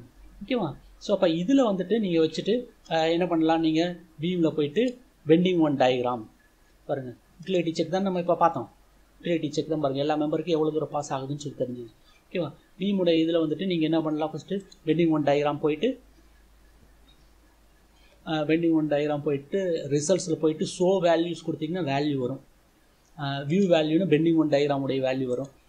என்ன வருது? மேக்ஸிமம் பெண்டிங் ஒன் வேணும்னா மேக்ஸிமம் பெண்டிங் ஒன் அனோட்டேட்னா அந்த பெண்டிங் ஒன் வேல்யூ காட்டும். யூட்டிலிட்டி ரேஷியோ எடுத்து விட்டுருங்க. எடுத்து விட்டுட்டு இதை இது பண்ணுங்கள் பண்ணிவிட்டு அதனுடைய ஸ்க்ரீன்ஷாட் பெண்டிங் ஒன் டயக்ராமு எந்த லோடு காம்பினேஷன் ஒஸ்ட்டாக வந்திருக்கோ அதனுடைய பெண்டிங் ஒன் டயக்ராமு எந்த லோடு காம்பினேஷனுக்கு ஷியர் ஃபோர்ஸ் வந்திருக்கோ அதை எடுத்துக்கோங்க.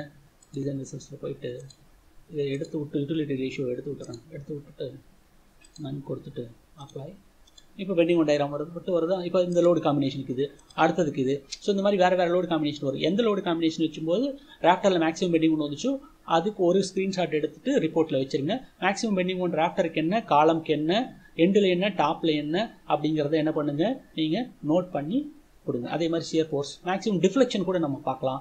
ஸோ அப்போ மேக்ஸிமம் டிஃப்ளெக்ஷன் பார்க்கணுன்னா இங்கே எதை இது பண்ணிடணும்? பெண்டிங் ஒன் டயராம் எடுத்து விட்டுட்டு இதில் மேக்ஸிமம் டிஃப்ளெக்ஷன்ஸ் கிளிக் பண்ணிவிட்டு ஓகேவா இப்போ டிஃப்ளெக்ஷன் போனீங்கன்னு வச்சுக்கோங்க. நோட்டில் போயிட்டு அதுக்கப்புறம் வந்துட்டு சரி டிஸ்பிளேஸ்மெண்ட் போனீங்கன்னா பாருங்கள் இல்லை இது அதுலேயும் நம்ம வேல்யூஸ் பார்க்கலாம். ரிசல்ட்ஸில் போயிட்டு நீங்கள் என்ன கொடுக்கலாம் வியூ வேல்யூ அதில் பீம் ரிசல்ட்ஸில் போயிட்டு என்ன கொடுத்துக்கலாம்? மேக்ஸிமம் ரிசல்ட்டு ஆனோட்டேட் ஆனால் பட் மேக்ஸிமம் டிஸ்பிளேஸ்மெண்ட் எவ்வளோ வருது?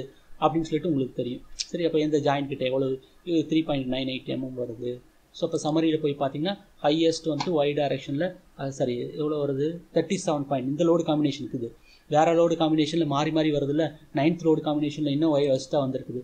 ரிஃப்ளெக்ஷன் மாறி மாறி வருதுல்ல பாருங்கள் எவ்வளோ வந்திருக்குது? ஹையஸ்ட்டாக thirty seven point five two nine mm வந்துட்டு மேக்ஸிமம் டிஃப்ளெக்ஷன் வந்துருக்குது. ஸோ அப்போ இந்த டிஃப்ளெக்ஷன் வந்து பர்மிசபிள் டிஃப்ளெக்ஷனோட கம்மியாக இருக்குதா அப்படிங்கிறதெல்லாமே நம்ம